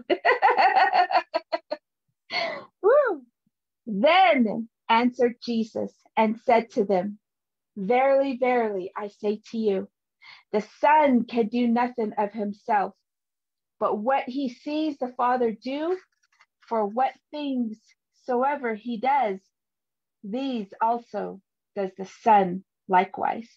John 5 and 19. It is the case for millions of people that even after receiving Christ and experiencing being born again, within a very short time, they become lukewarm or cold concerning the things of God. Why is that? These are various, they, there, there are various factors. Perhaps they were not disciple or did not maintain a connection with their local church if they had one, and therefore fell into stagnation. I emphasize this because I know how easy it can be to, to stray from, from or become disconnected from God and the life of His Spirit. It does not matter how uh, ecstatic or ill- illustrious our encounters with God may be. The accuser of the, of the brethren is forever on a mission to divert our attention from the Creator so that we do not come into full manifestation of his power in us. Remember that Satan's motivation is to steal and to kill and to destroy. John 10 and 10. Yes, there are costs to maintaining our relationship with God, such as vigilance and continually allowing his word to conform us to the image of his son. However, the costs are, are greater if we become estranged from God and his word as well as from the body of Christ. The body of Christ. Pause, baby. Pause. Amen. All right, man. You ready? You see where we left off at? Yeah. Jesus is Jesus always operated anointing for which he came to the earth. We must remember what it cost Jesus to redeem us. Christ's obedience to God, the Father, required him to operate within the parameters of the Father. To the Father required him to operate within the parameters the Father had given him. to, and to rely totally on the power of the Holy Spirit. Jesus not only paid a price of obedience and sacrifice throughout his three years of ministry, but he also paid the ultimate price of death on the cross. As a result, the Father sent him far above principality and power and might and dominion, and every name that is named, not only in this world, that is with to come. Ephesians 1:21. Thank you, Jesus. Because Jesus paid the full cost, died for our sins, and rose triumphantly, he is the one who is able to stay, sustain and help us. You and I function from his power and not our own. Now to him that is able to do exceedingly abundantly above all that we ask or think, according to the power that works in us. Ephesians 3:20. It is Jesus' responsibility to save and deliver, and it is our responsibility to abide in him. Again, it is his power that works in us, and when we stay connected to our source, that is why our, our stance in Christ has to be deliberate. We have to be able for to be available to that for, tongue to use his po- use in use us in his purpose. We must sacrifice our time and energy to read, study, and meditate on the Word of God. We need to operate as God wills and to surrender his plans for our lives. Christ lives in and through us to establish and operate in the reality of God's kingdom here on earth. For you, Jesus, the Lamb, were slain and have redeemed us by God by your blood out of every kindred and tongue and people and nation that made us through God's kings and priests, and that we shall reign on the earth. Revelations 5 9 through 10. Each and every one of us has a calling in our lives. How we function within that calling depends on our connection to the source of power our deliberate yielding to God. Jesus said, For many are called, but few are chosen. Matthew 22 14. In order for us to walk in the manifestation of what Christ worked for us on the cross and by his resurrection, his authority and power must be evident in our lives. You and I had to receive Christ before we could walk in his authority. When we accepted his shed blood for our behalf, when God gave us a measure of faith to answer the call to salvation, and profess our commitment to Jesus, when we believed and received the gift of indwelling of the Holy Spirit, all of these aspects were evident that Jesus was calling us to himself so that we could be a blessing to others under his authority and the power of his Holy Spirit, to open their eyes and to turn from their darkness to light, and from the power of Satan to God, and that they may receive forgiveness of sins and the inheritance among which they are sanctified by faith that is in me. Acts 26 and 18. You have been given everything you need to live out reality of your salvation, to go from faith to faith, Romans 1 17, and from glory to glory, 2 Corinthians 3 18, New King James Version.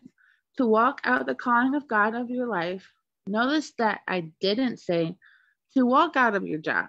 Your job is what you are paid for, but your calling is what you are made for. A set of freshly printed business cards with a title, pastor or apostle or evangelist, is not what qualifies you for your ministry. Obedience to God and His word that is what will bear the supernatural fruit in your life. We dishonor God, our Creator, when we disobey His way of doing things. And whenever we dishonor a head or authority, we lose influence. This is true not just of our relationship with God, but also relationship with human beings in whom he has placed an authority over us to guide us in our natural and spiritual walks on earth. Remember, in the book of Acts, the believers were able to do great works only because they were connected to their source. Their works were also keeping with the parameters of the gospel they had received and the power of the Holy Spirit working within them. Paul wrote, For the kingdom of God is not in word, but in power. 1 Corinthians 4:20. Through mighty signs and wonders, by the power of the Spirit of God, so that from Jerusalem and about about unto Illyricum I have fully preached the gospel. Romans 15, 19. Stay under God's protection. To conclude this chapter on the believer's authority, I want to emphasize again that anything in the, from the spiritual realm needs permission to freely operate on the physical earth. We must continue to stay obedient to God and His protection, to have authority over familiar spirits, both to prevent them from infiltrating our lives in the first place and to regain authority over them after we have given them opening. In Numbers 22, There is a very interesting story of a black sin and prophet named Balaam, whose prophetic ministry became contaminated with his love of money. People with a prophetic gifting on their lives must be particularly careful not to defile themselves by the love of money. This story is also a very detailed example of how familiar spirits operate. King of Balak of Moab sent messengers therefore to Balaam the son of Beor to Pethor, which is by the river of the land of the children of his people, to call him, saying, Behold, there is he will come out of Egypt. Behold, they cover the face of the earth, and they abide opposite from me. Come now, therefore, I pray, curse me this people, for they are too mighty for me. Perhaps I shall prevail, that we may smite them, and that I may drive them out of the land. For I know that he whom bless is blessed, and that he whom you curse is cursed. And the elders of Moab and the elders of Midian departed with the rewards of divination in their hands. And they came to Balaam and spoke to him the word of Balak. Numbers 22, 5 through 7. King Balak of Moab was intimidated by the Israelites, and he wanted them destroyed. He knew Balaam was an accurate prophet. He wanted to pay Balaam a handsome sum of money in order to decree a curse over God's people. In the ancient world, curses were verbal pronouncements or impressions that could carry spiritual authority. Such curses would set spiritual forces in motion, and that they could cause ill favor, sickness, calamity, destruction, and or even death. It is important to understand that pagan nations such as the Moabites were in agreement with and under the authority of demonic powers. They hated Israel because of the spirits that were controlling them. King Balak did not have a spiritual authority to curse the Israelites himself, so he sought out to hire Balaam to do this dirty work. Of course, if you're familiar with this story, you know that things did not go according to King Balak's plan. Instead of cursing the Israelites, Balaam blessed them. Later said, How shall I curse when whom God has not cursed? Or how shall I defy whom the Lord has not defied? Numbers 23 and 8. The twist in the story comes two chapters later in Numbers 25. And Israel abode in Shittim, Shittim, and the people began to commit whoredom, and the daughters of Moab. And they called the people of the sacrifices of their gods, and the people did eat, and bowed down to their gods. And Israel joined himself with Baal Peor. The anger of the Lord was kindled against Israel. Numbers 25, 1 through 3. Even though King Balak had not been able to curse the Israelites through divination and prection, the Israelites brought a curse upon themselves by violating spiritual laws. Many of the men married Moabite women, thus inviting familiar spirits to defile their people. They, they participated in idolatrous practices. They entered into covenant with the very people who had been hell bent on destroying them. By doing so, they opened the door to spiritual consequences and provoked God to judge them. This is what God told Moses to do those involved in worshiping Baal Peor. Take all the heads of the people and hang them up before the Lord against the sun, that the fierce anger of the Lord may be turned away from Israel. And then Moses said to the judges of Israel, Slay you every one his men that were joined to Baal Peor. Numbers 4, 25, 4 through 4, 4 through 5. Wow. The significance of events is a profound revelation about spiritual warfare. The Moabites represent demonic powers they worship demons disguised as deities. They performed evil rituals and defiled the land by inhabited land they inhabited. Again, their association with demonic powers is why they're not able, they were always hostile toward the Israelites. Note that when the Israelites op- operated under divine protection, their enemies could not successfully curse them. However, when they were went out from the, under the protection, they were susceptible to the curse. The accuser of the brethren does not care how you experience destruction, whether it is by self condemnation, spiritual oppression, or judgment, as long as he can establish legal accusation in the spiritual realm. The Apostle Paul urged Romans neither yield you your members as instruments of the unrighteous to sin, but yield yourself to God, and that are alive from the dead, and your members as instruments of righteousness to God. Know you not that to whom you yield yourselves servants to obey, his servants you are to whom you obey, whether sin to death or as obedience to righteousness? I speak as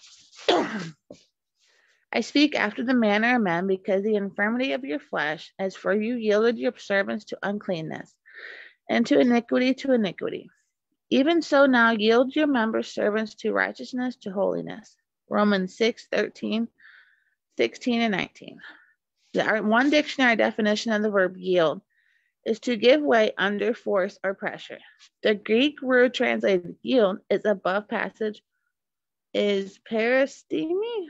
As a literal sense, several of its meanings are to place beside or near, to set at hand, to provide, to place a person or thing at one's disposal, to present or show, and to bring to, bring near. Figuratively, the word can mean to bring into one's fellowship of or intimacy. In the past, we may have unknowingly or knowingly yielded the influence of familiar spirits. But now that we understand the nature of these wicked spirits and how they seek an invitation to infiltrate our lives, we can stop their oppression by actively yielding to God instead. We can repent to the Lord, commit ourselves to Him, and obeying His word. Then He'll restore us from spiritual authority and power to defeat familiar spirits and expel them from our spiritual jurisdiction. Remember these words of Paul that you may know what is hope of his calling, and what the riches of his glories and his inheritance in the saints, and what is exceedingly in greatness of his power in the word who believe, according to the working of his mighty power. Ephesians 1 18 through 19. You want me to keep oh, going? Okay. Oh.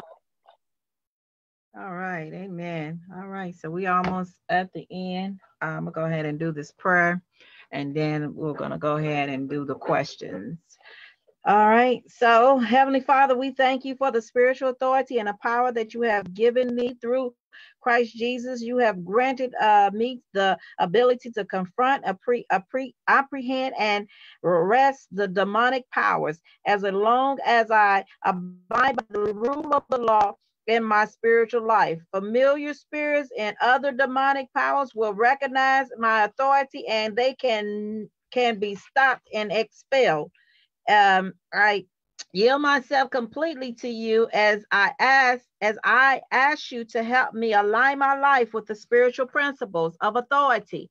I recognize you as the sole solely source of my authority and power. And I ask you to help me as the branch to remain continually connected to you, the vine. Let my recognize uh, and submit to the power of the Holy Spirit flowing through me so that I can walk in victory in my own life and help build the kingdom of God on earth as it is in heaven, bringing healing, deliverance, and your transforming love to everyone I meet. In Jesus' name, amen. Amen. All right. So the insights for overcoming.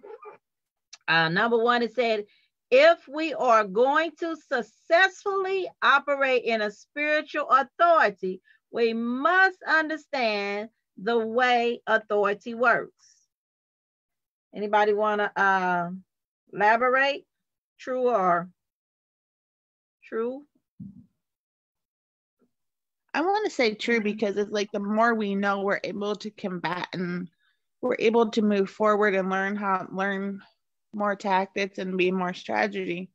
Strategy. Sorry, I'm tired over here. But like I think it's like I said, it's true. So the more we know, the more we can grow.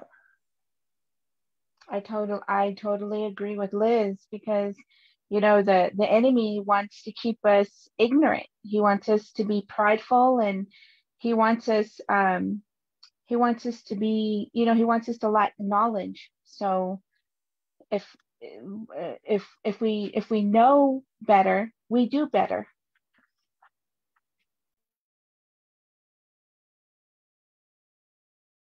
That's it. Amen. That's so true. Well number two we have been given authority by jesus christ to confront apprehend and arrest demonic powers. When we abide by the rule of the law in our spiritual lives, familiar spirits and other demonic powers recognize our authority. Come on. Relate. Talk to me. Yes. Yes, that that that is so good. We have been given authority by Jesus Christ to confront, apprehend, apprehend, and arrest demonic powers. When we are abiding by the By the rule of the law in our spiritual lives, familiar spirits and other demonic powers recognize our authority. That is so true because because if we are as as a man thinks in his heart, so is he. So if we want to be like Jesus and sound like Jesus and walk like Jesus and talk like Jesus, the enemy cannot he and, and just you know just like the just like the enemy said jesus i know paul i know so if he knows the word, he knows authority. Amen. Good. So true. So true. Amen. Amen. Number three. Because of the indwelling of the Holy Spirit, we have supernatural cap- cap- capabilities and the conviction of Christ in you. Colossians 1 27 talks about that, and to operate in power and authority.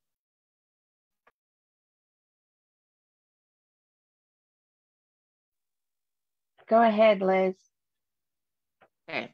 I think just by like for me, I think like the more we want the like when we have the holy spirit in our lives we can move forward and that he gives us power and authority to operate that and that we shouldn't be afraid that we can do that and that we can do all things through christ who strengthen us and that we can do these we do have super supernatural capabilities and that we shouldn't have to worry Amen. Yes, yes. Because uh, just like in the video, when when Brother Hagin, I like how he said, you know, greater is he that is in me than he who is of this world. And that is so true because we don't come in our authority, we come in Jesus's authority. So that's good, Liz. That's good. I agree. I agree. That's good. Well, number four, in order to exercise authority over demonic powers, we must understand and align our lives with those four key spiritual principles. And we need to apply this, ladies. Number one, all authority and power have a source. Amen.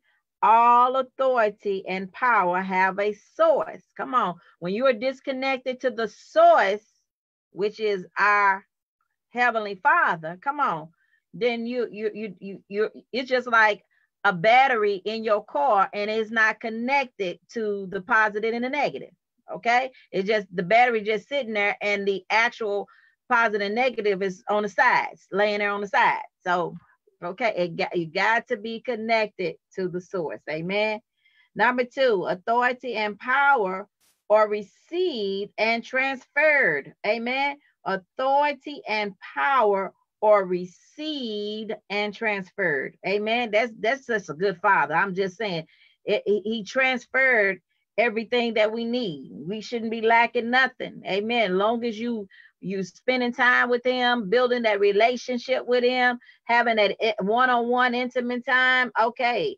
Everything is still is transferring, it's transferring into you as well. Amen. Um Number three, authority and powers are jurisdictional. Or number four, authority and power have a cost. Amen. Authority and power have a cost. Amen. Amen. All right. So let's ask the questions. I'm gonna go ahead and try to uh, go to the questions, and you guys can tell me if you can um, relate to this. It said, I am operating in the spiritual authority Christ has provided for me. Why and why not? I'm going to repeat. I am operating in the spiritual authority Christ has provided for me. Why and why not you why not you you're not operating in it? Come on, talk to me. I can definitely relate to this because um, earlier in the chapter when it was talking about you know, having head knowledge and, you know, going to church, going to a building and warming the seat and, and having a, having head knowledge is different from actually being a doer. And I can definitely relate to this because I had so much knowledge of Jesus, just like the Pharisees, that I didn't even, if I were to see him, I probably wouldn't even know him because I didn't know him intimately. So So having so having to know him and knowing about him is two different things, whether or not you operate in the authority he has given you. To know about him is like the Pharisees. Yeah, we know he's coming, but when when he shows up, it's like, are you he? Are you the one? But if you know him, you know Jesus because of the way he talks, the way he walks, the way he loves, his compassion, and and you just know, you just know that's him. So I can definitely relate to that when I got my deliverance, when the veil was removed from my eyes and the scales fell. I can definitely understand why Jesus operated in deliverance, a New Testament reality. That's good, friend. Amen. Amen. Do you have anything to elaborate on that Liz? Um, yeah. Uh, the question. Yeah. Okay, man. Go ahead. I think like um just realizing I do have power and not I know that God didn't give us a spirit of fear, but a power, love, and, and sound mind. Like, okay, I don't have to be fearful, and that just keep realizing I have authority and like I should, it, like, just let things go and not like, okay, just let it and not let things get to things.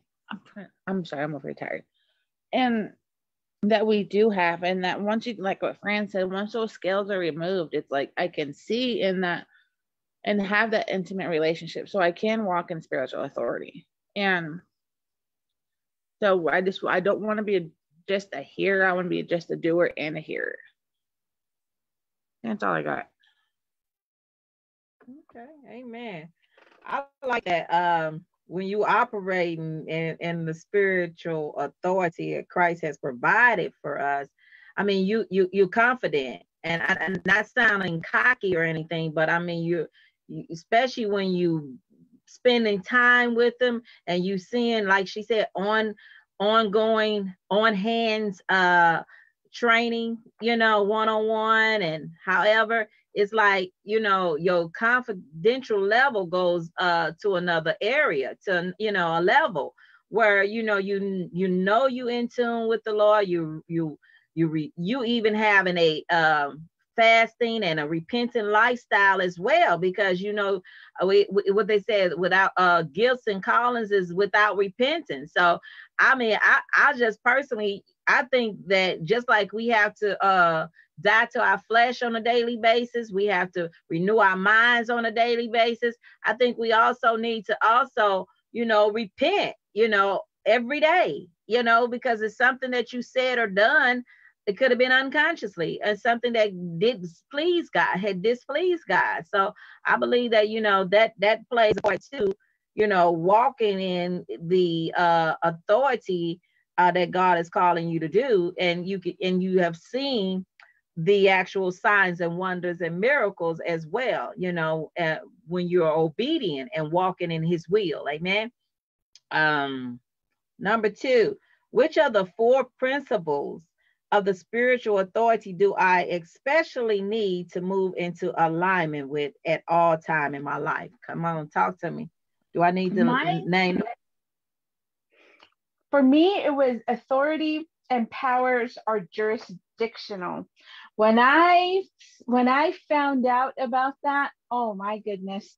I was like you mean i have power and authority over the territory that god has given us and that there are angels that that measure territory. There are angels that measure what was taken illegally stripped and stolen and what was taken out from underneath us when when the enemy used to you know ambush you and and push you around and just leave you for dead because that was my life. And like like apostle said you you gain confidence. You gain like you like um like the scripture says god puts you on the firm foundation where your foot doesn't slip or or um or uh, uh, or you don't you don't fall you're you're stable. You stand there knowing that you know that you know that you know.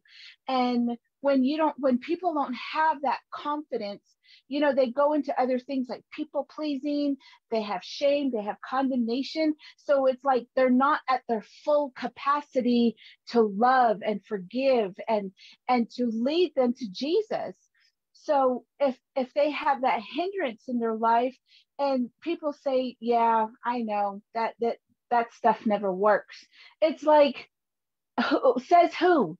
Who who said who told you that? Who told you that? So i can definitely relate to that and i know um, that i know that when when i started studying about jurisdiction and the angels you know um, uh, measuring territory i was so excited i was like i want it all back I want it all back. I want my joy. I want my love. I want my peace. I want what the enemy took from me illegally. I want it all back in Jesus' name. Amen. Amen. Woo-hoo. Somebody to ruffle her feathers. Okay. Amen. Amen. Don't get me started, Apostle. Jesus. Amen. I totally agree with him. You know, I, I, I mean, you just got to know that you got to take a stand, you know, and and know that's what's in you, you know, um, greater, greater, and and and know that you you can do all things, like she said earlier, you can do all things through Christ who strengthens you. So you gotta know that you know that you know. When you spend time with god and and you feel that you know you you you feel his presence you feel his love. I mean I, one person said i'll be feeling goosebumps. I'll be getting all teary-eyed when i know the presence of the lord or the glory is just sitting on me resting on me you know amen so i i i, I love that that was good uh number three uh liz did you have anything to uh add to that sweetie um, yeah, I think like for me, like struggling with the jurisdictions and tonight's lesson put it in perspective for me, like how the police officer has jurisdictions, we have jurisdiction as well. And then we have backup. We have heavenly armies backing us up. We have prayer people praying for us. We have our accountabilities like come helping us. On, Liz. Yes, and, come on.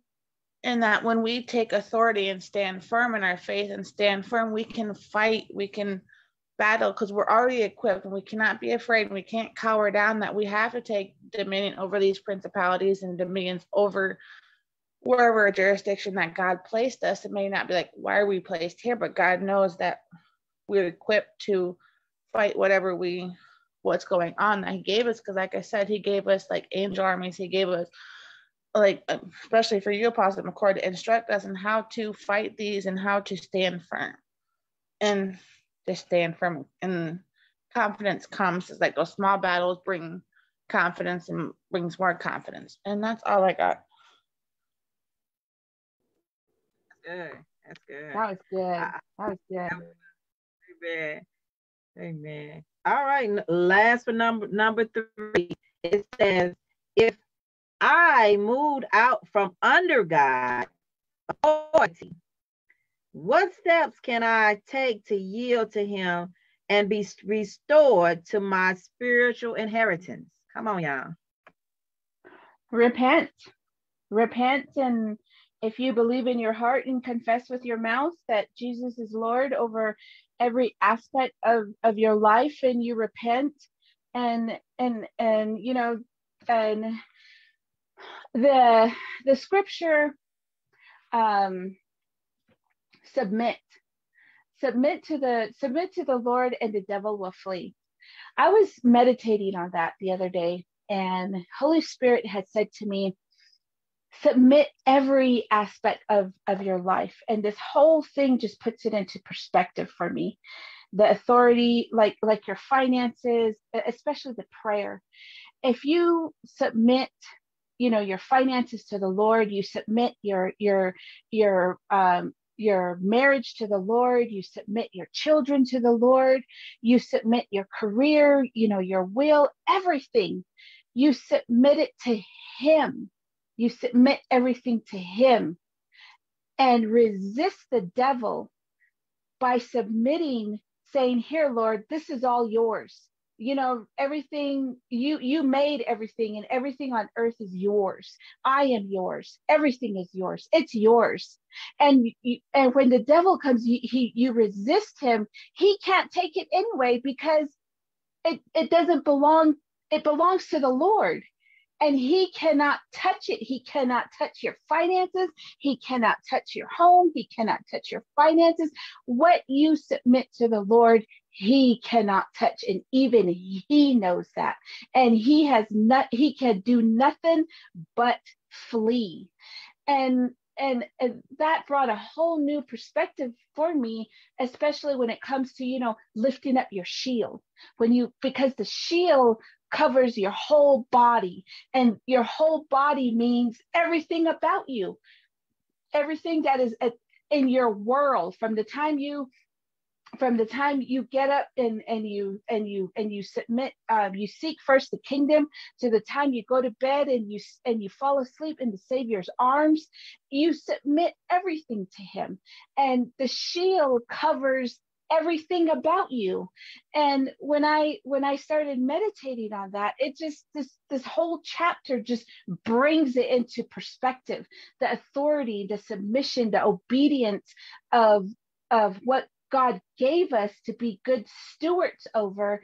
And if we're not being good stewards then we repent and say father teach me show me uh, where i'm lacking revelation where i'm lacking knowledge where i'm ignorant so the enemy does not use that against me. And and this this book is so good. It is so good. And and i just pray that everybody you know that that god's light will shine on every aspect of of what this book is teaching and the authority and the principles. And especially when you go through deliverance. When you go through the through deliverance. It's like those clogged pipes, those pipes that are backed up, those pipes that are clogged. Well, all of a sudden, just just the hindrance will be removed, and Holy Spirit will be given free reign to to flow through you and to to just to just cleanse you from and God, uh, God's anointing and His blood and His word will just cleanse you. And when you feel God's presence and his love and you bask in it, you get understanding, you get revelation. And that's when it's easy to stand in your authority and your and what God, everything that Jesus died for.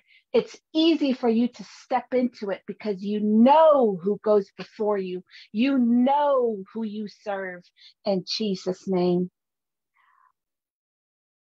Amen. Amen. That's good. All right. Do you have anything to add to that, Liz? Yeah, I think it's like uh, when Fred was speaking, I was reminded of like when when Nathan brought came to David when he with the whole sheep thing and how like God sends people into our lives like, hey, you might want to fix or get back to where you're supposed to be, like regroup, reset, repent, and to come back and have okay, and just repent and just be cleansed and like and then psalm 51 came to my spirit was like okay just create me a clean heart oh god and just repent and just come back. And then confess and believe and just come back. And he'll restore us to right salvation. And that's all i got. Good. That's good. I mean when she used david as an example you know creating me a clean heart you know you know, we already knew that David had some issues, but he was also uh, a man after God's own heart. You know, he he he. Uh, I almost said he he he knew professionally. He, he, he was a repentance professional. He, he he was a professional repentance. Okay, so that that that was that was um, definitely good. Um, when you know, and I know a lot of times when we move out of God's will, and like it said, it said, and we get out of God's authority, you'll feel it. It you'll feel it. It's it's like it's almost like a whole different shift in you. You know what I'm saying? You, you don't you ain't praying like you used to, you ain't fasting, you ain't in your word, you ain't got that that hunger after his righteousness. You don't have that zeal, that fire. You know what I'm saying? You can tell. You can tell because it's now you become lukewarm. Uh-huh. Now you become spiritually dead, disconnected from the source. You will know it. You will know it. You can't fake it. You know what I'm saying? You got some people will kind of fake it, you know, and play, you know, like ah, holy than thou, but then go you know, in church play holy than thou, and then go home acting like the world, acting like a heathen. So yes, you you you know, and the and the one thing about the Holy Spirit, is gonna convict you. It's gonna convict you. It's gonna correct you. It's gonna send somebody in in your path. I guarantee to tell you walking in error. You walking in like the hypocrites. You you know what I'm saying? You not mean by hypocrites, meaning that if you out there with your friends drinking, smoking, cussing, acting a fool, and then on the other hand, you you you uh confessing or professing to be a Christian, it's gonna be hard for the non-believers to believe you. It's gonna be hard for the non-believers to come to Christ because they looking at you like you just like the world. You just like, you know, you compromising. We were just talking about that. You're compromising and you are, are rebellion, you know, and that's a, a, a, red flag immediately that that can show you that you're being uh, out of God's authority, that God is moved away from you. Oh, and, and I, I think of this good. Thank you, Jose. King Saul was a prime example. Okay. He was, you know, getting word from uh what was the Samuel at that time? Yes. Samuel, the prophet Samuel was giving the word from God, what to do, instructions and everything. And then King Saul did what he wanted to do. You know, he allowed his flesh to get in the way and rebellion up in his heart, you know. And so now, you know, you you know that when you when you's like, wait a minute, Lord, I'm not, you know, having good dreams anymore. I'm having horrible uh demonic activities coming in this in my dreams. There's a there's a red flag. There's a door opening, a porter opening of the, you know, because of what rebellion or sin that we have uh, engaged in.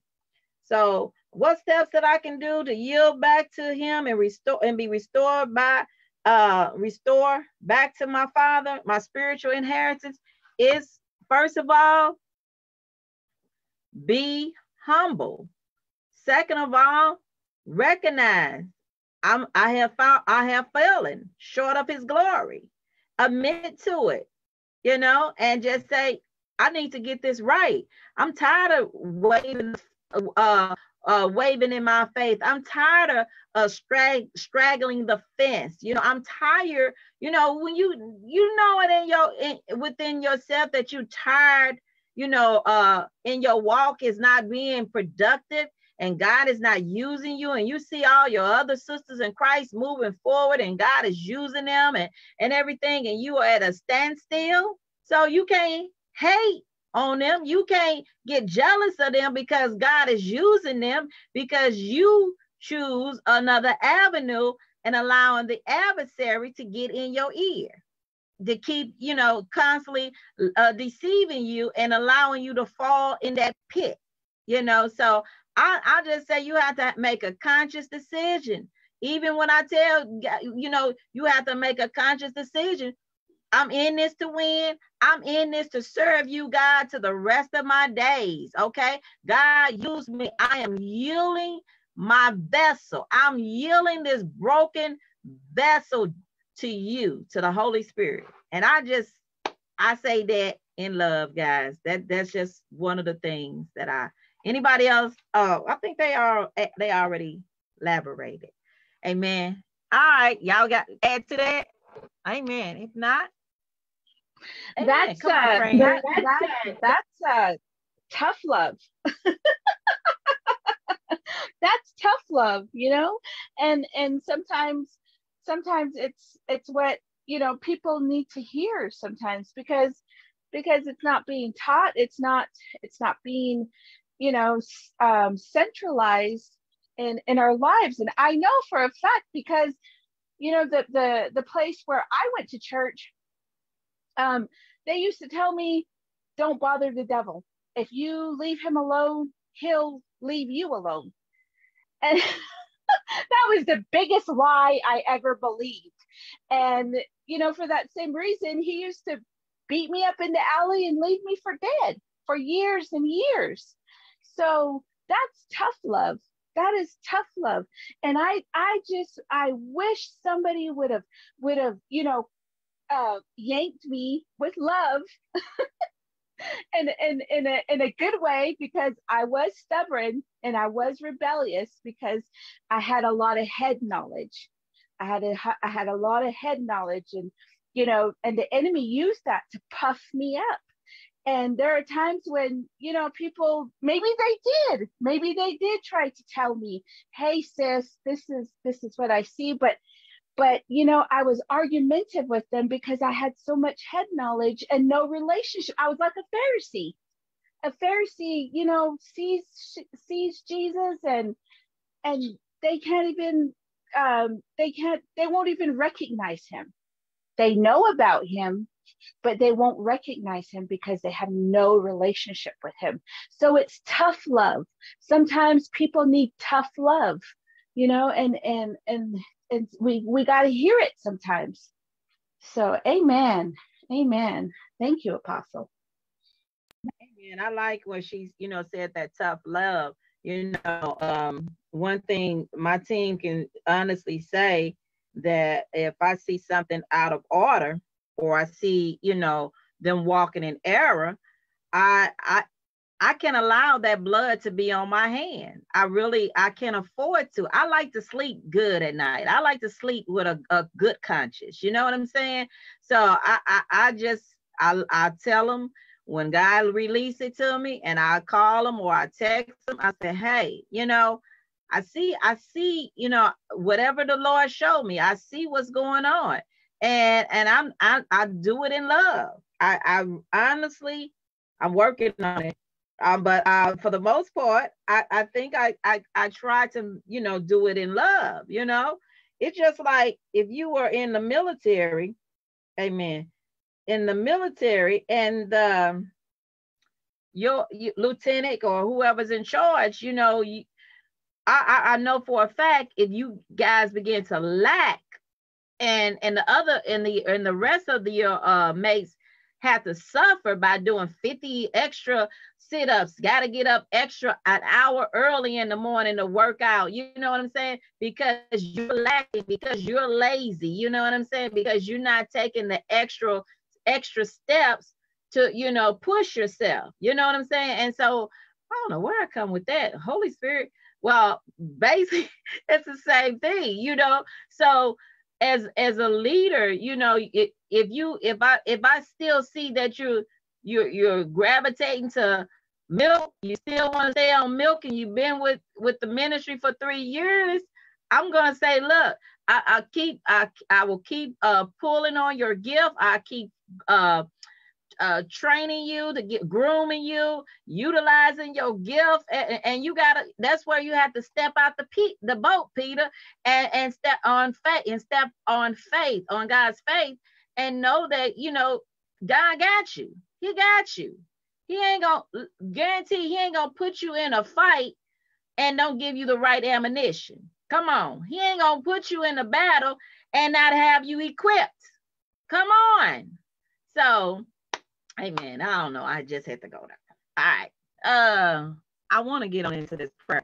I got 15 minutes before a class end, and I'm trying to keep them because uh I mean I, keep the time frame and everything because I know we gotta go. But also want to let you know if you want to sow the seed, we appreciate every love, love offering, love seed that you are sowing. Is blessing the ministry, is helping us to grow, is helping us to reach the nations, amen, as well. And you can just go over over to um our cash app is called dollar sign healing M2 at uh, uh dollar sign healing M2. Amen.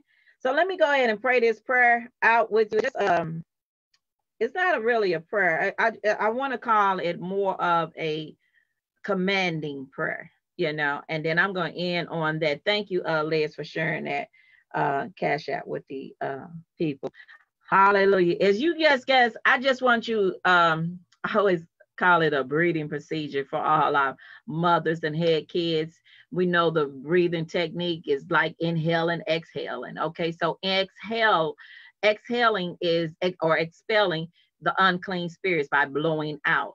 Inhaling the holy spirit back into those places to those in that in that temple in the places where once the uh unclean spirit had reside so we we want to inhale the holy spirit to fill those spaces back up. Amen. As i pray this prayer over you um i pray that you get a rest of your breakthrough. You get your freedom. Amen. I pray that chains are being broken. I pray that god's fingers begin to point uh point in every area of you that that is dormant everything that's being stagnated every everything that's being darkened uh and, and within you so we command of, of heavens of, uh, of armies right now we come to you today and we put before you all the monitor spirits and familiar spirits that are watching our process and and progress and uh and coming against the pro- the purpose and plans that you have for our life. We ask that you would scatter every evil gathering that, that are that, that are made against us in my in Jesus name. And we disrupt the camp and then we send confusion within their communication.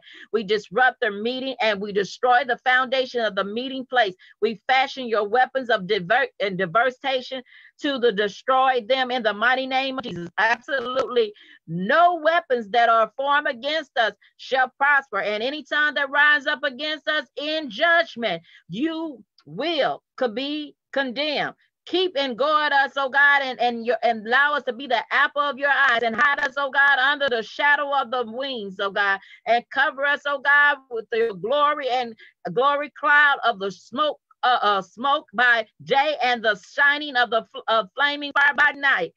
Be a, can- a canopy canopy over us, oh God. And I ask that you defense, uh, defense of, of divine love and protection, oh God, around our families, around us in the mighty name of Jesus. We ask you, God, to put a hedge around us, oh God, our family, our finance, our job, our ministry, our careers, our children, and our homes, oh God, and, and our marriages, oh God, and that uh, that we will have all and uh, have all that we need on every side in the name of Jesus. I confess I ask right now that you begin to allow us to prosper and, and, and happiness upon us, oh God, and the works of our hands and our possessions will increase for your glory. Keep your words of the Bible ever before us so that we may be wiser than the enemy. Bring us to mind the scriptures that needs to speak into the atmosphere to scatter them and destroy them by fire in the mighty name of Jesus. We tear up by uh, the roots uh, uh, in the spirit of anything that has been planted in our house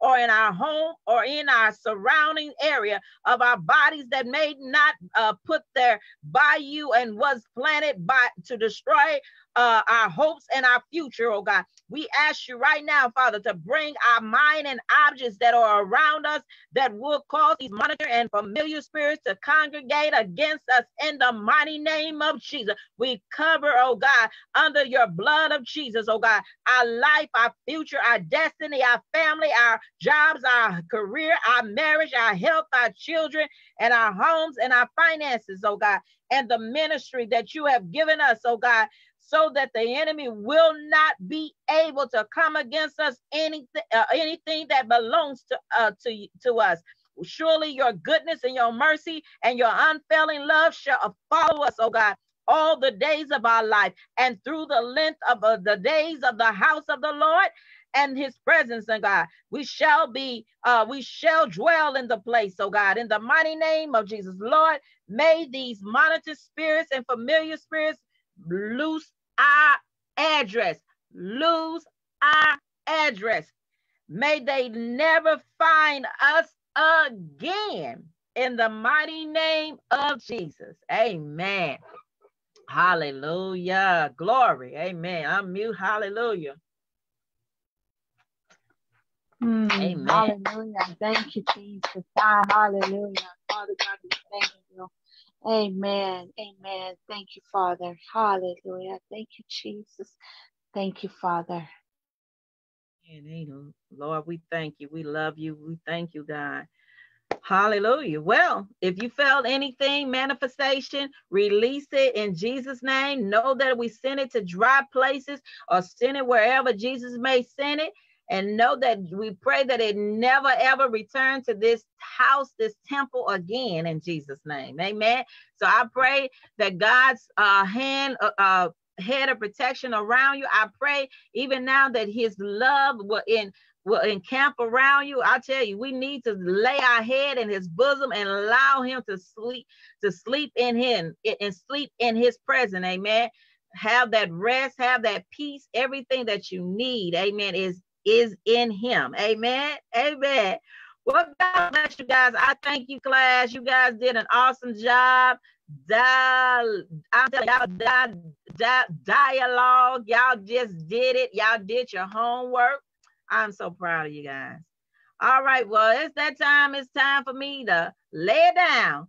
So we'll see you guys next week. Tuesday is our podcast, and next Thursday we'll see you back in class. But come Monday through Friday, come for prayer. Come on, y'all. We need to pray. Matter of fact, next week we starting our fast.